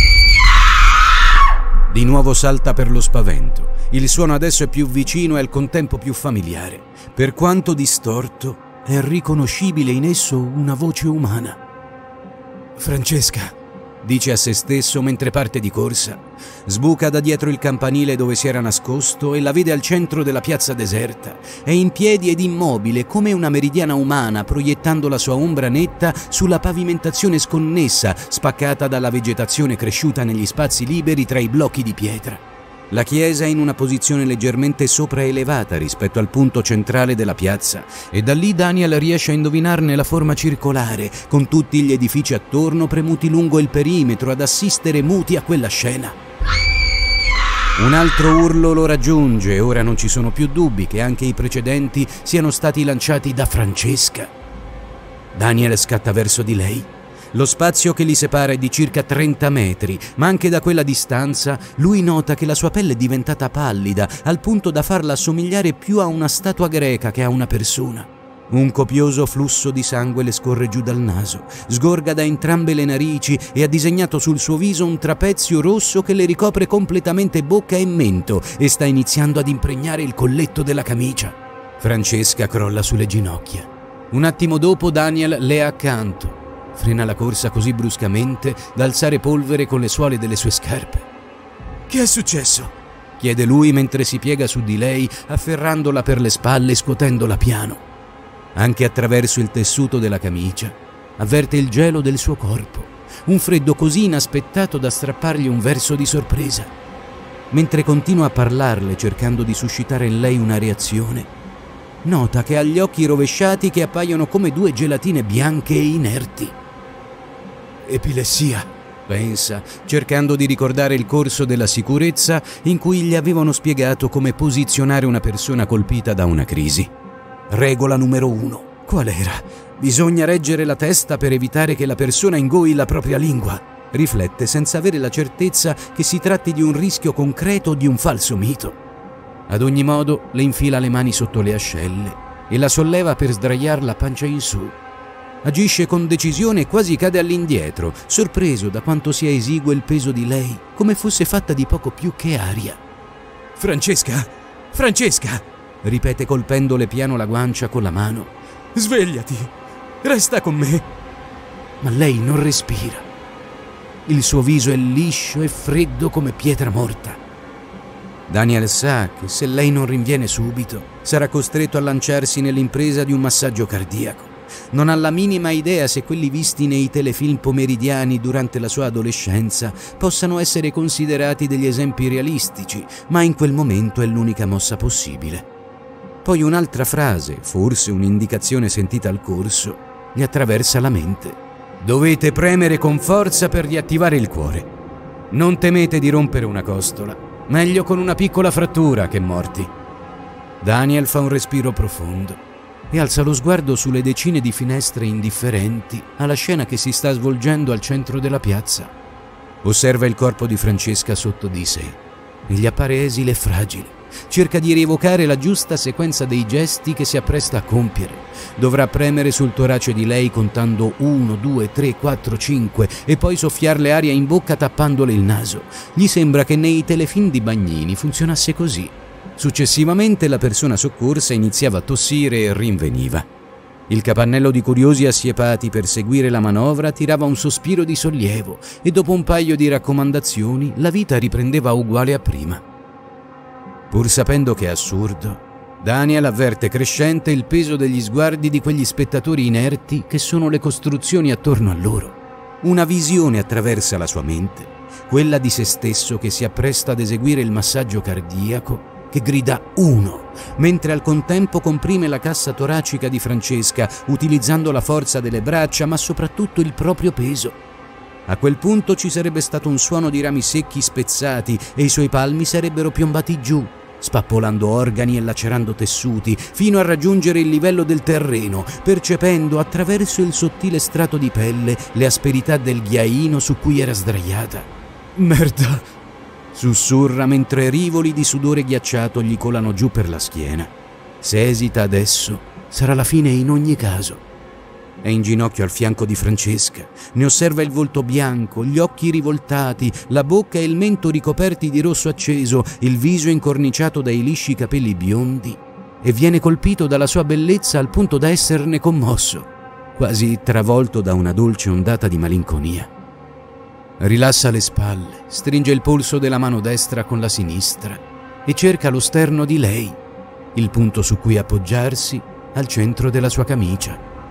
Il seno è allargato e le mammelle sono scivolate rispettivamente a destra e a sinistra del torace, quasi avessero stabilito scientemente di disporsi in modo da agevolare il salvataggio. Daniel si solleva e stringe i denti, prima di calare con tutta la forza che ha sul corpo di Francesca forma nella sua mente la parola uno. Ed è in quel preciso istante, prima che lui faccia qualsiasi cosa, che lei spalanca la bocca risucchiando aria come un nuotatore che riemerge dall'apnea. Iride e pupille riappaiono nelle sclere, dilatandosi, quasi il corpo si sforzasse di respirare anche dagli occhi. Un colore rosa divampa sulle sue guance, dilagando rapido in tutto il suo viso, sulle braccia e sulle gambe. Oh cazzo! esclama Daniel mentre lei si mette a sedere reggendosi il capo con la mano. Credo. credo tu abbia avuto un attacco epilettico. Le dice mentre un violento tremore dovuto al calo dell'adrenalina si impossessa di lui. È la prima volta o ne soffri da tempo?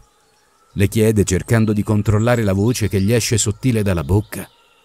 Lei lo guarda e sorride senza rispondere. Daniel le prende il viso tra le mani che cessano di tremare all'istante.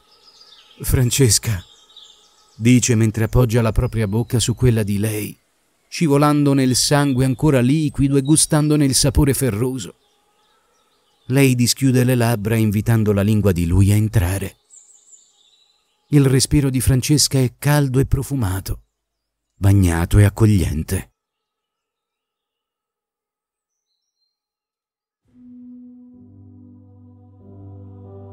La casa in cui vive Daniel è stata ristrutturata l'ultima volta negli anni 70.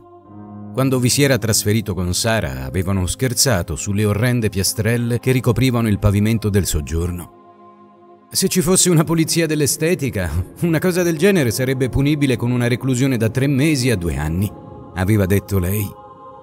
In effetti anche Daniel non riusciva a capacitarsi di come in un passato così prossimo fossero state considerate accettabili marroncine, decorate con liquidi disegni fantasmatici che facevano pensare al denso fumo di un sigaro. Era stata la prima cosa che avevano cambiato, investendo i pochi soldi di cui disponevano in un bel parquet in legno color caramello, che generava un felice equilibrio tra l'effetto di ritrovarsi in un'accogliente casa di montagna e quello di abitare uno spazio moderno ed elegante.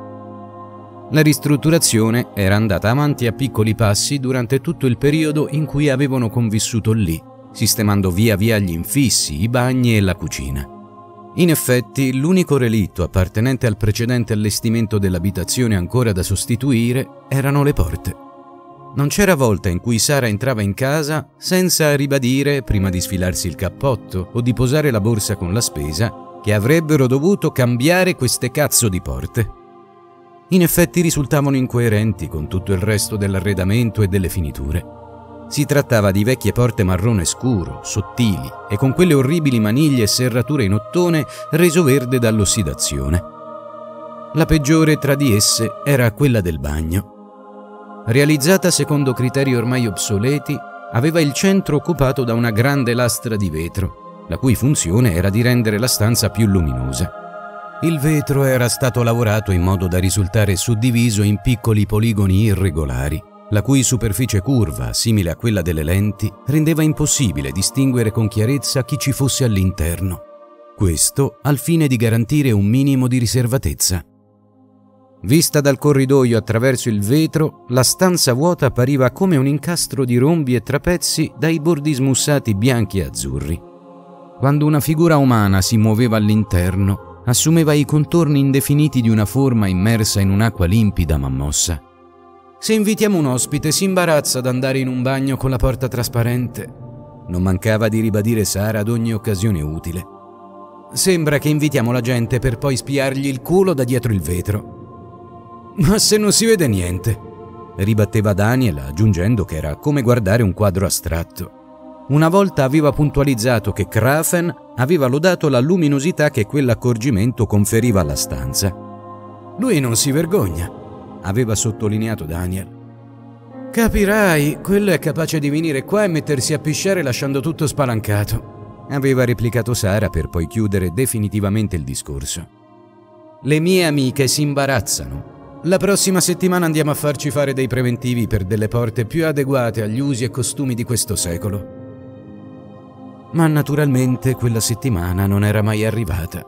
O, per amore della precisione, era arrivata senza che ci fosse alcun giro per negozi di serramenti, perché era stato proprio allora che Sara gli aveva comunicato la sua decisione di lasciarlo, la loro distanza emozionale, eccetera. Adesso, mentre è sdraiato a letto nel tardo pomeriggio, con Francesca che dorme al suo fianco, riflette ancora sulla questione delle porte. Una non pianifica di cambiare le porte per mollarti subito dopo. Pensa. Non ha nessuna logica. Eppure era proprio così che era andata. In quanto alla logica, Daniel sta vicino alla prova vivente che si tratta solo di un rudimentale sistema di pianificazione delle proprie azioni, basato sul ripetersi di condizioni analoghe e su previsioni statistiche. Quante possibilità c'erano che una donna bellissima venisse a bussare alla sua porta quel giorno? Come andava interpretata l'epifania di Francesca in uno schema di forze che vedeva in campo cause ed effetti? Era inutile domandarselo. E non per la paura di risposte poco piacevoli, ma perché il fatto che non fosse mai capitata una cosa del genere era un dato privo di significato nell'elaborazione dell'esperienza. Gli extraterrestri non esistono. Certo, non esistono fino a quando un'astronave atterra sul tuo giardino di casa. E allora a quel punto quella che prima era ritenuta una fantasticheria senza fondamento sarà una realtà tangibile che condizionerà tutto quello che hai conosciuto o che conoscerai. Ogni nuovo elemento che entra in contatto con un soggetto, per quanto minuscolo e insignificante, condiziona una nuova configurazione dei suoi orizzonti percettivi e cognitivi. Lei. Il viaggio indietro nel tempo? Impossibile. Einstein lo ha affermato con certezza, eppure ci si dimentica che ciò che è stato dimostrato prima di lui è stato smentito, e verrà il giorno in cui anche le sue teorie risulteranno strumenti obsoleti per la comprensione della realtà. Non. Daniel percepisce accanto a sé il corpo caldo di Francesca, il suo respiro lento. Ne sfiora delicatamente i capelli con la mano per non svegliarla. Più tardi le proporrà di dividere le lasagne avanzate dal giorno prima. Spera che le piacciano. Il tepore delle coperte lo sta facendo scivolare nuovamente nel sonno. Eh. Dopo cena magari potrebbero uscire a bere qualcosa, anche se a pensarci bene, lui preferirebbe restare lì con lei. Chissà se deve tornare a casa o se ha qualcos'altro in programma. Nella sua mente si confondono immagini di castelli, città fantasma, le porte, la vecchia, il bosco. Era Rea. Daniel sbarra gli occhi. Il sangue, Sara, sussurra tra i denti stretti. Il corpo, il respiro, la parola. Sara, li ho toccati, li ho sentiti. Francesca si gira cambiando posizione con un mugolio. Cosa stai dicendo, Daniel? chiede con la voce impastata di sonno. Lui le sfiora una spalla. Scusa, non volevo svegliarti, dice, poi aggiunge. Ti piacciono le lasagne? Lei si rotola e gli si sdraia sopra. Certo, risponde con gli occhi che ridono e gli appoggia un bacio umido sulla punta del naso. Mentre si guardano in volto, i loro corpi nudi, premuti uno sull'altro, iniziano un dialogo indipendente da quello delle loro bocche. Ah, um, fa lei con una specie di colpo di tosse rivolta a Daniel. Sarà meglio che mi sposti, altrimenti finiremo per morire stremati in questo letto. Ah, non sarebbe male, replica lui con un'espressione maliziosa. Già, dice Francesca, ma adesso dobbiamo alzarci. Posso fare una doccia?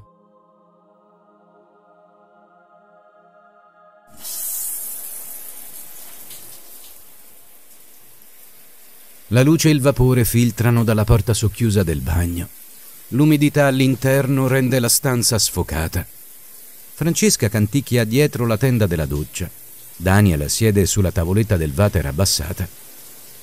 La città fantasma mi è piaciuta, dice lei. Le sue parole arrivano mescolate al getto dell'acqua sulla ceramica della vasca. A parte quel piccolo uh, incidente Daniel osserva lo specchio circolare fissato sopra il lavandino. La sua superficie riflettente è resa opaca dalla condensa, una sorta di strato grigio che mantiene tuttavia dei toni argentati. Non me lo ricordare, fa lui, per poco non mi veniva un infarto. Addirittura, replica Francesca muovendosi dietro la tenda, generando indefinite mutevoli forme rosa che si aggregano e scompaiono insieme alle modulazioni sonore dell'acqua. Sicura che ora ti senti meglio? chiede Daniel. Il ricordo della sua pelle gelida e della bocca coperta di sangue gli strizza la laringe inibendogli per un attimo il respiro. Te l'ho detto, canticchia lei. Ora sto benissimo. Deve essere stato un po' di panico per il sangue dal naso. che scema. L'importante è che sia passato, dice Daniel mentre lei riprende a canticchiare insaponandosi il corpo sotto l'acqua. Che bello, pensa lui. Domani ci sarà un altro giorno di festa e potremo stare assieme senza preoccupazioni. Francesca se la sta prendendo comoda sotto la doccia e così Daniel decide di farle una piccola sorpresa. Scivolerà fuori dal bagno senza far rumore, andrà in cucina e preparerà un aperitivo per brindare al loro incontro. In frigo c'è una bottiglia di prosecco e di sicuro ha da parte qualche oliva e delle patatine. Forse potrebbe tostare del pane e preparare dei crostini con burro e alici.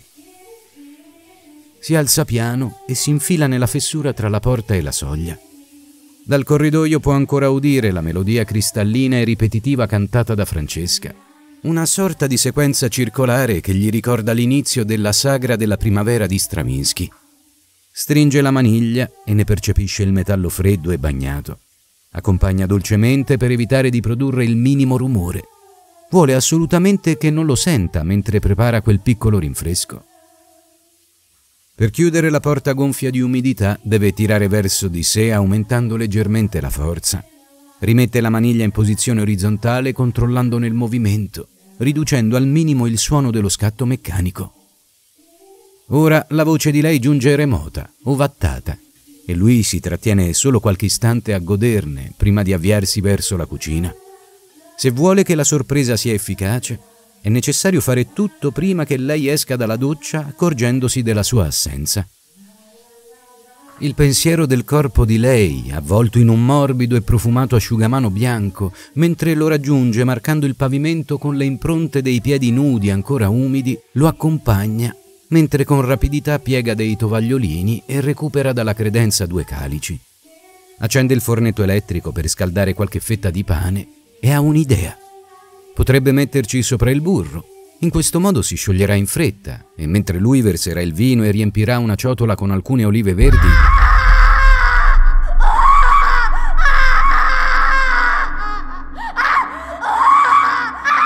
Daniel viene investito dal suono penetrante di mille clarini infernali, un rumore tale da fargli stringere il capo tra le braccia, come dovesse prepararsi ad essere travolto da un gigantesco camion.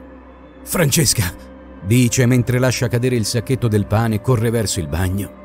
Dall'altro lato della porta vede il corpo di lei ridotto alle forme geometriche elementari che sono tracciate sulla superficie del vetro che li separa.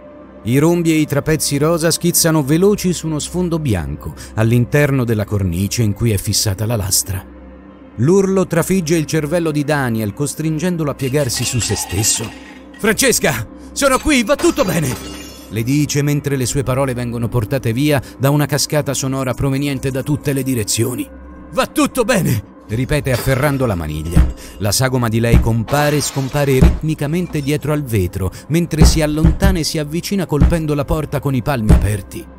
Daniel spinge giù la maniglia senza riuscire ad aprire. Forse lei la sta inavvertitamente bloccando con il proprio peso, oppure... È l'umidità che l'ha gonfiata bloccandola, pensa mentre alza e abbassa la maniglia appoggiandosi alla porta con la spalla. Francesca! le dice. Non aver paura! Spostati da lì, vai a sederti sul water. La porta si è semplicemente incastrata. Ora le do un colpo forte e vedrai che si apre. Lei non risponde, ma lui vede le forme rosa allontanarsi e sparire dal riquadro in vetro. Daniel immagina che se sta avendo una crisi, un attacco di panico, dovrà farla uscire il prima possibile, teme che possa svenire cadere sbattendo la testa. Spinge con tutta la forza, puntellandosi con un piede sul muro al lato opposto del corridoio. La porta non cede. Quanto erano stati là dentro con tutto quel vapore, che avesse perso la cognizione del tempo così a lungo. Una cosa simile non era mai successa. Impossibile, pensa mentre schiaccia la spalla contro il legno. Sono uscito due secondi fa e si è chiusa senza problemi. Dobbiamo cambiare queste cazzo di porte. Daniel stringe così forte la maniglia che la sente scricchiolare nel legno.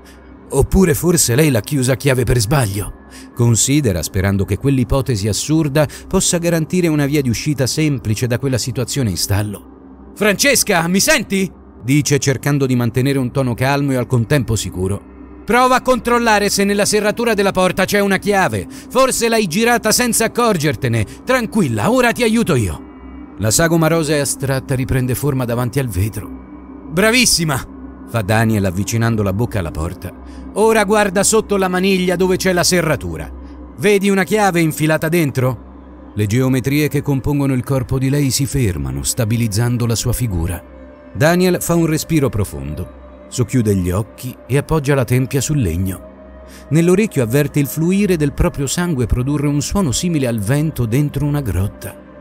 Daniel parla ponendo fine a quel silenzio fluido. Francesca, c'è una chiave lì?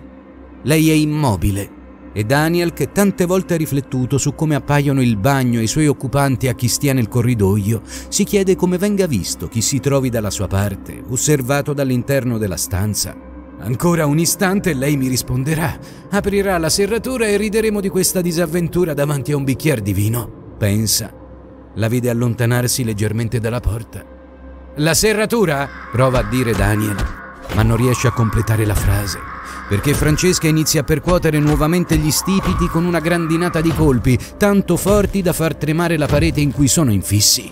L'immagine di un cacciavite riposto nella cassetta degli attrezzi all'interno dello sgabuzzino si accende nella mente di Daniel. La scassinerò, pensa mentre si allontana. La spaccherò se necessario, scardinerò la porta. Tanto l'avrei comunque cambiata questa cazzo di porta. Vado a prendere un attrezzo, dice girandosi e avviandosi lungo il corridoio. Stai tranquilla, torno subito. Daniel ha il tempo di fare solo due passi, quando sente il vetro infrangersi dietro di sé. Si volta e vede Francesca nuda a mezz'aria attraversare la porta volando. Le braccia sono protese in avanti e le ginocchia piegate, il capo incassato tra le spalle, mentre i lunghi capelli biondi e bagnati lo inseguono come la coda di una stella cometa. Nello spazio attorno a lei è sospesa una galassia di frammenti lucenti dalle forme spigolose che fanno pensare a preziosi cristalli magici. Daniel tende il braccio nella sua direzione, come potesse fermare lo scorrere del tempo e impedire la sua caduta, e per una frazione di secondo osa persino sperare che ciò sia possibile, credendo follemente che un angelo o un demone riesca a sospendere momentaneamente le leggi della fisica. Allunga il braccio alla massima estensione, quasi a voler staccare la testa dell'omero dalla clavicola, come se potesse lanciarlo in direzione di lei con le dita della mano aperte, pronte ad afferrarla. Ma il vetro esploso cade a terra. E così Francesca, precipitando su di esso, dopo aver sbattuto contro la parete del corridoio. No! urla Daniel senza che il suo braccio ancora alzato abbia lanciato alcuna magia salvifica. Lei giace sul pavimento, raggomitolata immobile, dandogli la schiena. Daniel scatta nella sua direzione e un dolore pungente schizza come una vipera su dalla pianta del suo piede fino a morderlo all'altezza del ginocchio. Fa un passo indietro e scopre di essersi ferito con un frammento di vetro. Esita ancora un istante guardando i punti in cui la pelle di Francesca è tesa in corrispondenza delle vertebre, poi saltella sul piede sano fino in soggiorno dove raccatta un paio di ciabatte. Prima di infilarle, estrae alla svelta il pezzo conficcato nella carne, senza curarsi degli schizzi di sangue che sporcano il pavimento e il tappeto sopra cui si trova, e riparte subito verso il corridoio. Si china su di lei e ne sfiora il corpo gelido e bianco. Le infila un braccio sotto un'ascella e l'altro dietro le ginocchia e la solleva per trasportarla fin sul divano. Francesca è svenuta e non oppone resistenza né offre aiuto a Daniel. Le sue membra e il suo capo ciondolano inerti sgocciolando sul parquet. Non appena la adagia, Daniel stima l'entità delle ferite che ha riportato. Le braccia e le gambe sono coperte di profondi tagli da cui sgorga un sangue di colore acceso, vivido come vernice rossa. Il flusso segue delle pulsazioni e cola denso lungo il suo corpo. Pare quasi che venga vomitato dalle ferite che si aprono e chiudono ritmicamente simili a branchie. Il viso è attraversato diagonalmente da una lunga e sottile linea rossa che si allarga facendosi via via più scura, acquisendo prima una tinta vermiglia, poi viola, quindi marrone, fino a raggiungere il nero. Daniel pensa che se continua così, le due parti della sua testa si staccheranno, scivolando lontano una dall'altra, un occhio a destra, uno a sinistra. Ma non è possibile pensa mentre con le mani cerca di riavvicinare i due emisferi che si stanno separando, con l'unico risultato di aumentare la fuoriuscita di quel fluido scuro e catramoso che ora spurga da dietro la maschera del viso. No, no, dice lordandosi le mani che scivolano senza presa sul corpo di Francesca. No, no, ripete continuando a tentare la sua grottesca riparazione. Distoglie lo sguardo da quella testa, non riuscendo più a sostenere l'orrore della visione, solo per constatare la presenza di un grosso frammento di vetro della lunghezza di almeno 20 centimetri che sporge come un pugnale conficcato nel seno di Francesca. Daniel fa qualche passo indietro e si porta le mani alla bocca. Oddio! Oddio! mormora mentre cade in ginocchio davanti a quel corpo martoriato. Le ferite stanno rallentando la loro pulsazione, espellendo all'esterno una sostanza concentrata che esce con fatica mentre la pelle di lei da bianca pare farsi trasparente. Daniel le appoggia una mano sulla pancia e le sue dita scivolano lente, lasciando strisce rosse dietro di loro, fino a raggiungere il frammento di vetro. Sfiorandolo lo scopre freddo come una lastra di ghiaccio. Lo afferra per il lato piatto tra pollice e indice e tira per estrarlo ma il vetro non si muove essendo evidentemente penetrato fin sotto lo sterno. Allora, avvertendo il sapore salato delle lacrime che gli sono scivolate lungo le guance per finirgli agli angoli della bocca, stringe con più forza utilizzando anche l'altra mano. Il suono di quella rimozione è di risucchio e mentre la parte che era conficcata nel corpo di Francesca viene lentamente alla luce, coperta di una sostanza nera appiccicosa che cola sul seno come inchiostro su colline innevate, un ultimo fiotto sgorga dalla ferita, caldo e viscido, con un'intensità tale da raggiungere il viso di Daniel.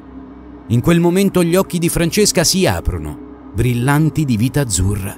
Le sue braccia si sollevano di scatto e raggiungono il collo di Daniel. Lei lo abbraccia, portando la testa di lui al suo petto, iniziando a singhiozzare. Con il viso premuto contro di lei, in quel buio soffocante, Daniel si sente mancare il respiro, come se stesse emergendo eternamente dalle profondità di un abisso senza fine. E mentre il nero si sta facendo ancora più nero e avverte lo svenimento incipiente, l'aria entra dolorosamente nei suoi polmoni, strappandogli un grido che non ha lo spazio per uscire, chiuso tra la pelle di lei e le labbra di lui.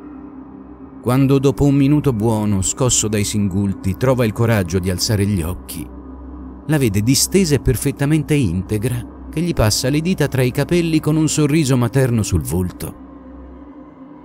Lui è ancora inginocchiato sul tappeto di fronte al divano e lei è sdraiata, nuda, asciutta e tranquilla. La testa di Daniel scatta verso l'alto. Ma tu... cerca di dire mentre stringe gli occhi infastiditi dalla luce nella stanza. Si guarda le mani perfettamente pulite, poi esamina il viso di lei e infine il suo petto. Cerchi qualcosa? chiede Francesca divertita. Ma non ti eri ferita con il vetro della porta? Daniel si guarda attorno confuso. Già, risponde Francesca alzando la mano e mostrandogli una fasciatura arrotolata su palmo e dorso attorno al pollice. Sono scivolata sbattendoci contro il palmo e tu mi hai medicata come un vero professionista. Ma il vetro, fa Daniel, anche se Francesca subito lo interrompe. E deve essere stato un lavoro duro se poi ti sei addormentato qui al mio capezzale. Ma forse è colpa mia. Con le mie grattatine alla testa ti ho fatto rilassare troppo. Lei continua a sorridere e i suoi occhi, le sue lentiggini e i suoi capelli biondi e fini stanno facendo venire voglia di sorridere anche a lui. Daniel si alza in piedi. La nebbia sonnolenta che gli avvolge la testa si sta dissipando rapidamente. Guarda in direzione del corridoio e vede i frammenti di vetro sparsi un po' dovunque. Scusa, dice Francesca. Mi dispiace, non l'ho fatto apposta. Sono scivolata sul pavimento bagnato, ho allungato il braccio. Te la ripago. Lui scaccia quelle parole con un gesto della mano. Tranquilla, le dice chinandosi a raccogliere tra le dita un piccolo frammento di vetro. Tanto dovevo sostituirla lo avvicina agli occhi e ne esamina la forma irregolare affilata. Meglio dare una spazzata, dice, altrimenti rischiamo di farci male. Lei si alza dal divano, nuda, in piedi sul tappeto, con i capelli sciolti e la pelle bianca, fa pensare a una sorta di divinità celtica, alimentata da occulte forze lunari che la colmano di una vitalità tutta pagana. Prima il brindisi, altrimenti il vino si scalda, dice Francesca mentre la sua risata rimbalza cristallina sulle pareti della casa, in un gioco di specchi tale da far quasi perdere l'equilibrio a Daniel.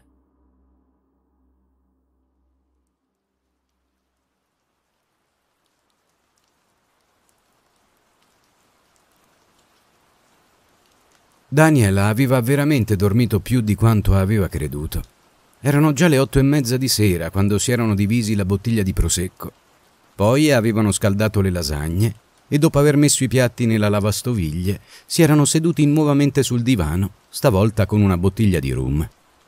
Con il caldo nello stomaco e la testa leggera, Daniel allunga la schiena e le gambe lasciando che Francesca selezioni la musica per quel momento utilizzando il suo cellulare. La osserva per un po' far scorrere il dito sullo schermo, seduta gambe incrociate sui cuscini mentre si mordicchia un mignolo. Mm, no, questo no. Questo non sembra male, dice tra sé mentre una pioggia leggera inizia a cadere all'esterno, scivolando sul tetto e sulla strada. Daniel si chiede su quale brano potrà ricadere la scelta, quando nota la mezza impronta macchiata di sangue che ha lasciato sul tappeto. Dei due era stato lui quello ad essersi ferito più seriamente. La pianta pulsa piano, a tempo con il battito del cuore ed è una sensazione tutto sommato piacevole, come di un bacio impresso da due labbra tiepide sulla sua pelle. Dobbiamo spazzare per bene il pavimento prima di andare a dormire, dice pensando ai frammenti di vetro o ancora sparsi nel corridoio. Altrimenti rischiamo di tagliarci. Lei fa un cenno di assenso distratto, senza staccare gli occhi dal telefono. e quel movimento le fa scivolare una ciocca di capelli davanti al viso, ma è così assorbita dalla sua ricerca che non si prende nemmeno la briga di scostarla. Continua a tenere il mignolo tra i denti. Nel confortevole abbandono di quel momento, Daniel si rende conto di quanto le ha detto poco fa. In quel prima di andare a dormire, pronunciato alla leggera, era implicito il fatto che lei sarebbe rimasta lì con lui, che non avesse un posto migliore dove recarsi per la notte. Un artiglio invisibile gli serra la trachea. È forte e tagliente come una zampa di rapace, lo scortica e lo soffoca nello stesso tempo. Se per lei fosse solo un'avventura, pensa irrigidendosi all'istante. Se domani mattina o stasera stessa dovesse tornare a casa, magari in una città lontana. Perfetto, esclama Francesca premendo lo schermo del telefono con l'indice. Poi alza gli occhi su Daniel, il dito ancora tra le labbra. Ehi, ma che hai? Chiede facendosi di colpo seria. Eh? fa lui. No, niente, niente. Solo un pensiero passeggero. La presa dell'artiglio si allenta un po', mentre lei si aggiusta i capelli e posa la sua mano fasciata sopra quella di Daniel. Siamo qui, gli dice carezzandolo piano, mantenendo il contatto visivo. Lui deglutisce e stiracchia un sorriso, prende un altro sorso di rum e avverte quella sensazione di soffocamento svanire lentamente. Ora, fa lei alzandosi in piedi, hai un accendino? Senza chiedersi se lei volesse fumare una sigaretta o altro, Daniel le indica un cassetto della cucina. Francesca rovista per un po' fino a trovare un vecchio bic giallo, poi si sposta verso l'ingresso dove è appoggiato il suo zainetto. Uh, ma prova a chiedere Daniel, ruotando la testa per cercare di capire cosa lei stia facendo dietro di lui. Un attimo, risponde lei. Eppure era qui, mormora mentre sposta gli oggetti che compongono il suo bagaglio. Eccola, dice. Era finita proprio in fondo. Cosa...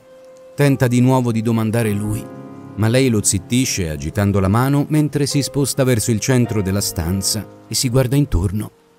I suoi occhi si posano sulla libreria, sul mobile della televisione, sulle sedie della cucina, sui pensili, per fissarsi infine su una piccola mensola sopra il divano. Ottimo! dice lei allungandosi sopra Daniel, che continua a seguirne i movimenti da sdraiato, cercando di capire cosa lei tenga tra le mani. In un primo momento gli era sembrata una specie di dolce, una sorta di panna cotta, visto che il suo colore è di un bianco niveo venato di striature rosso amarena ma deve ricredersi quando capisce che si tratta di una grossa candela profumata collocata all'interno di un vaso di vetro. Le ci vogliono un paio di tentativi per riuscire ad accendere lo stoppino e non appena è sicura che continuerà a bruciare, abbassa lo sguardo sorridente su Daniel. Lui non fa nemmeno in tempo ad aprire la bocca che lei lo costringe al silenzio per la terza volta. E aspetta un attimo, lo redarguisce poi si china su di lui sfiorandogli le labbra con un bacio leggero. Uomo di poca fede. Francesca afferra il cellulare, saltella fino all'interruttore e spegne la luce nello stesso momento in cui avvia il brano che ha scelto. La stanza si riempie del tremulo arancione della candela e il suono di un pianoforte si diffonde dalle casse dell'impianto stereo collegato al telefono. La canzone comincia con un arpeggio lento in cui gli accordi minori scivolano in quelli maggiori e viceversa, dissolvendosi gli uni negli altri, generando una zona intermedia, un labile confine tra dolcezza e malinconia. La pioggia fuori, la penombra, le note che fluttuano nell'ambiente conferiscono al suono una consistenza tangibile, morbida e vellutata, scura e lucente come il manto di un felino. Ora Francesca è in piedi al centro della stanza e sul suo viso pallido danzano i riflessi del lume acceso poco prima. Daniel la scruta con occhi che ancora si stanno abituando a quell'oscurità inaspettata e gli appare come una sagoma evanescente. Appena le sue pupille si sono dilatate sufficientemente per poter distinguere la stanza e le forme vaghe dei mobili, si rende conto che lei ha le braccia alzate, le mani aperte protese verso di lui. Vieni, gli dice mentre la musica cresce d'intensità. Balliamo. Non sono capace. dice lui ammirando il modo in cui i lineamenti di Francesca, i suoi occhi e le forme del suo corpo affiorano gradualmente dal nero. Sì che sei capace. Vieni, dice lei, e la sua voce è insieme dolce e ferma. Non gli resta altro da fare che alzarsi e raggiungerla, prendere le sue mani calde e lasciare che lei gli si stringa contro. Muovendosi con piccoli passi, a piedi scalzi sul pavimento, iniziano a ondeggiare trasportati da quella canzone che a Daniel pare di aver già sentito e gli sembra richiami alla mente qualcosa di dimenticato. Questa musica, dice lui osservando la stanza che gira piano attorno a loro. Shh, fa lei soffiandogli sul petto un alito caldo che gli inumidisce la maglietta. Daniel deve dominarsi per non parlare, ma in quel momento avrebbe voglia di raccontare a Francesca molte cose. Le direbbe ancora di Sara, di come se n'è andata senza una vera spiegazione, del modo in cui ciò che per lui era relegato al regno dell'impossibile si era incarnato in una realtà con cui fare i conti e che aveva condizionato tanto il suo presente quanto il suo passato. Le avrebbe voluto parlare di Krafen, era sicuro che gli sarebbe andato a genio. Avevano entrambi quello spirito deciso e quello slancio nell'affrontare le cose. Avrebbe voluto persino scherzare con lei sulla sua vicina, che con la scusa di prendersi cura di lui, lo assillava quotidianamente per avere un po' di compagnia. Questo e molto altro vorrebbe dire, ma sa che il momento verrebbe sciupato. Così chiude gli occhi e si lascia trasportare dalla musica, senza sapere se è lui a guidare Francesca o ad essere condotto attraverso le note. Inspira profondamente, precipitando senza un suono all'interno della propria coscienza, dove contempla immagini che prendono corpo e si dissolvono, disfacendosi l'una nell'altra all'unisono con la musica. Lui e Francesca sotto un alto muro di pietra, poi insieme mentre imbiancano una delle stanze e lei gli sporca il naso con la vernice azzurra e lui sa che la vernice è azzurra perché sarà un maschietto e ancora lui e lei insieme ai due bambini ormai cresciuti, seduti in giardino a mangiare insalata di riso in una sera d'estate. Infine lui e lei mano nella mano, camminando piano lungo un sentiero perché, dice lei, non siamo più dei ragazzini. Daniel espira e sente il brano crescere di intensità, intuendo da quella melodia familiare che si sta avviando alla conclusione. Sa di dover parlare per non essere trascinato da quel flusso e si sforza di pensare a qualcosa che sia all'altezza del momento. Ma la sua mente è uno spazio vuoto in cui galleggia un bisogno privo di forma. Francesca, io... dice, e in quell'istante la canzone termina. Daniel attende ancora un attimo prima di aprire gli occhi e guardare la candela ormai spenta. È solo, al centro della stanza. Dalle imposte accostate di una finestra filtra una luce azzurra e fredda.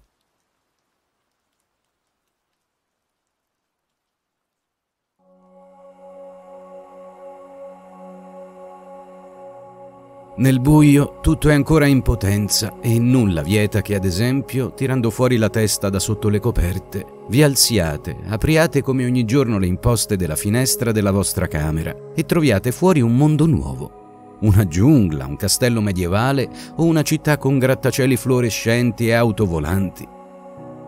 Dormire solleva da ogni responsabilità circa le azioni da compiere, le scelte da fare. Dormire è un po' morire, ha detto qualcuno. Ma allora, se così fosse, a cosa corrisponderebbe il momento della sveglia? Se uscire dal letto non offre garanzie certe circa la continuità del mondo, così come ce la ricordavamo al momento di coricarci, la veglia, d'altro canto, ci permette di illuderci che il nostro sguardo contribuisca alla coerenza di ciò che stiamo contemplando. Il problema, quello che impedisce a Daniel Verdini di sprofondare di nuovo nel sonno, è il timore che ciò che gli si presenterà davanti sarà esattamente lo stesso scenario che ha visto ieri e il giorno precedente. Se domani fosse oggi, sarebbe ieri. Così trova una posizione più comoda e si sforza di ignorare il bisogno di andare in bagno che vorrebbe strapparlo dal suo caldo giaciglio per condurlo a svuotare la vescica. Oggi è festa? si chiede respirando l'aria pesante sotto le coperte. Non ha sentito la sveglia e decide che in ogni caso non ha intenzione di alzarsi, lasciando che tutti gli scenari potenziali che affollano la sua fantasia coesistano ancora per un po'. Si gira e avverte il peso di qualcosa sopra il suo ginocchio. L'oggetto gli scivola lungo la gamba andando a finire sul pavimento con un tonfo plastico. Merda, il PC! mormora mentre considera che ormai è definitivamente costretto ad alzarsi. Magari con la caduta si è anche rotto. Quello vecchio aveva finito i suoi giorni allo stesso modo, volando giù dal divano. Tutte le volte in cui Sara gli aveva detto di non addormentarsi con il computer sulle gambe perché prima o poi sarebbe finito in pezzi, non gli avevano fatto perdere il vizio. Dovrà verificare il danno e già pensa ai soldi da spendere nel caso si renda necessaria una sostituzione, quando si rende conto che accendere la luce adesso, conoscere le sorti del suo portatile, è solo uno dei modi che l'universo sta utilizzando per far sì che si svegli completamente, perché senza la percezione di Daniel non può esistere, non potrà prendere ancora una volta corpo. Ridacchia. Bella mossa. Si allunga sul materasso e lascia che il torpore si diffonda nuovamente attraverso le sue membra. C'era stato qualcosa quel giorno, anche se non riesce a ricordare bene. Strano, pensa mentre constata che la testa non gli fa male come avrebbe immaginato. Forse ho bevuto meno di quello che pensavo. Cerca di mettere assieme delle immagini ma in quel buio sono solo masse informi senza l'energia necessaria per acquisire una consistenza. Il sonno ora lo sta lentamente ricoprendo, simile a una marea densa. Sta quasi per essere sommerso, condotto lontano.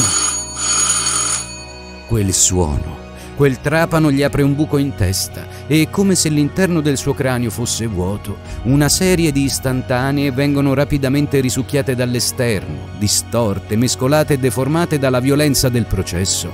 Il bosco, il paese abbandonato, Krafen, Sara, la vecchia, Francesca. Francesca! Esclama scattando in posizione seduta e cercando di ripulire gli occhi dal sonno sfregandosi le palpebre. Scende dal letto, calcia inavvertitamente il computer con un piede, facendolo scivolare sul pavimento e mandandolo a sbattere contro l'armadio.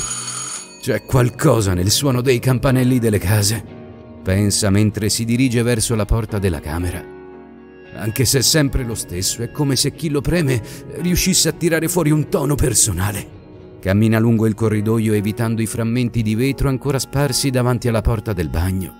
Quando viene Krafen lo riconosco subito. Stessa cosa per la vicina. Di Sara poi non ne parliamo nemmeno. Saprei distinguere da differenze infinitesimali nella durata, se ha bisogno che l'aiuti a portare dentro la spesa oppure se vuole che le apra perché ha dimenticato le chiavi. I piedi nudi di Daniel calpestano una piccola macchia scura sul tappeto e nel passare davanti al divano nota sulla mensola che vi sta appesa sopra una candela consumata. Arrivo, arrivo! dice finalmente davanti alla porta. Si aggiusta i capelli alla buona, poi afferra la maniglia. Sono qui, dice mentre apre ancora una volta la porta, venendo investito dalla primavera.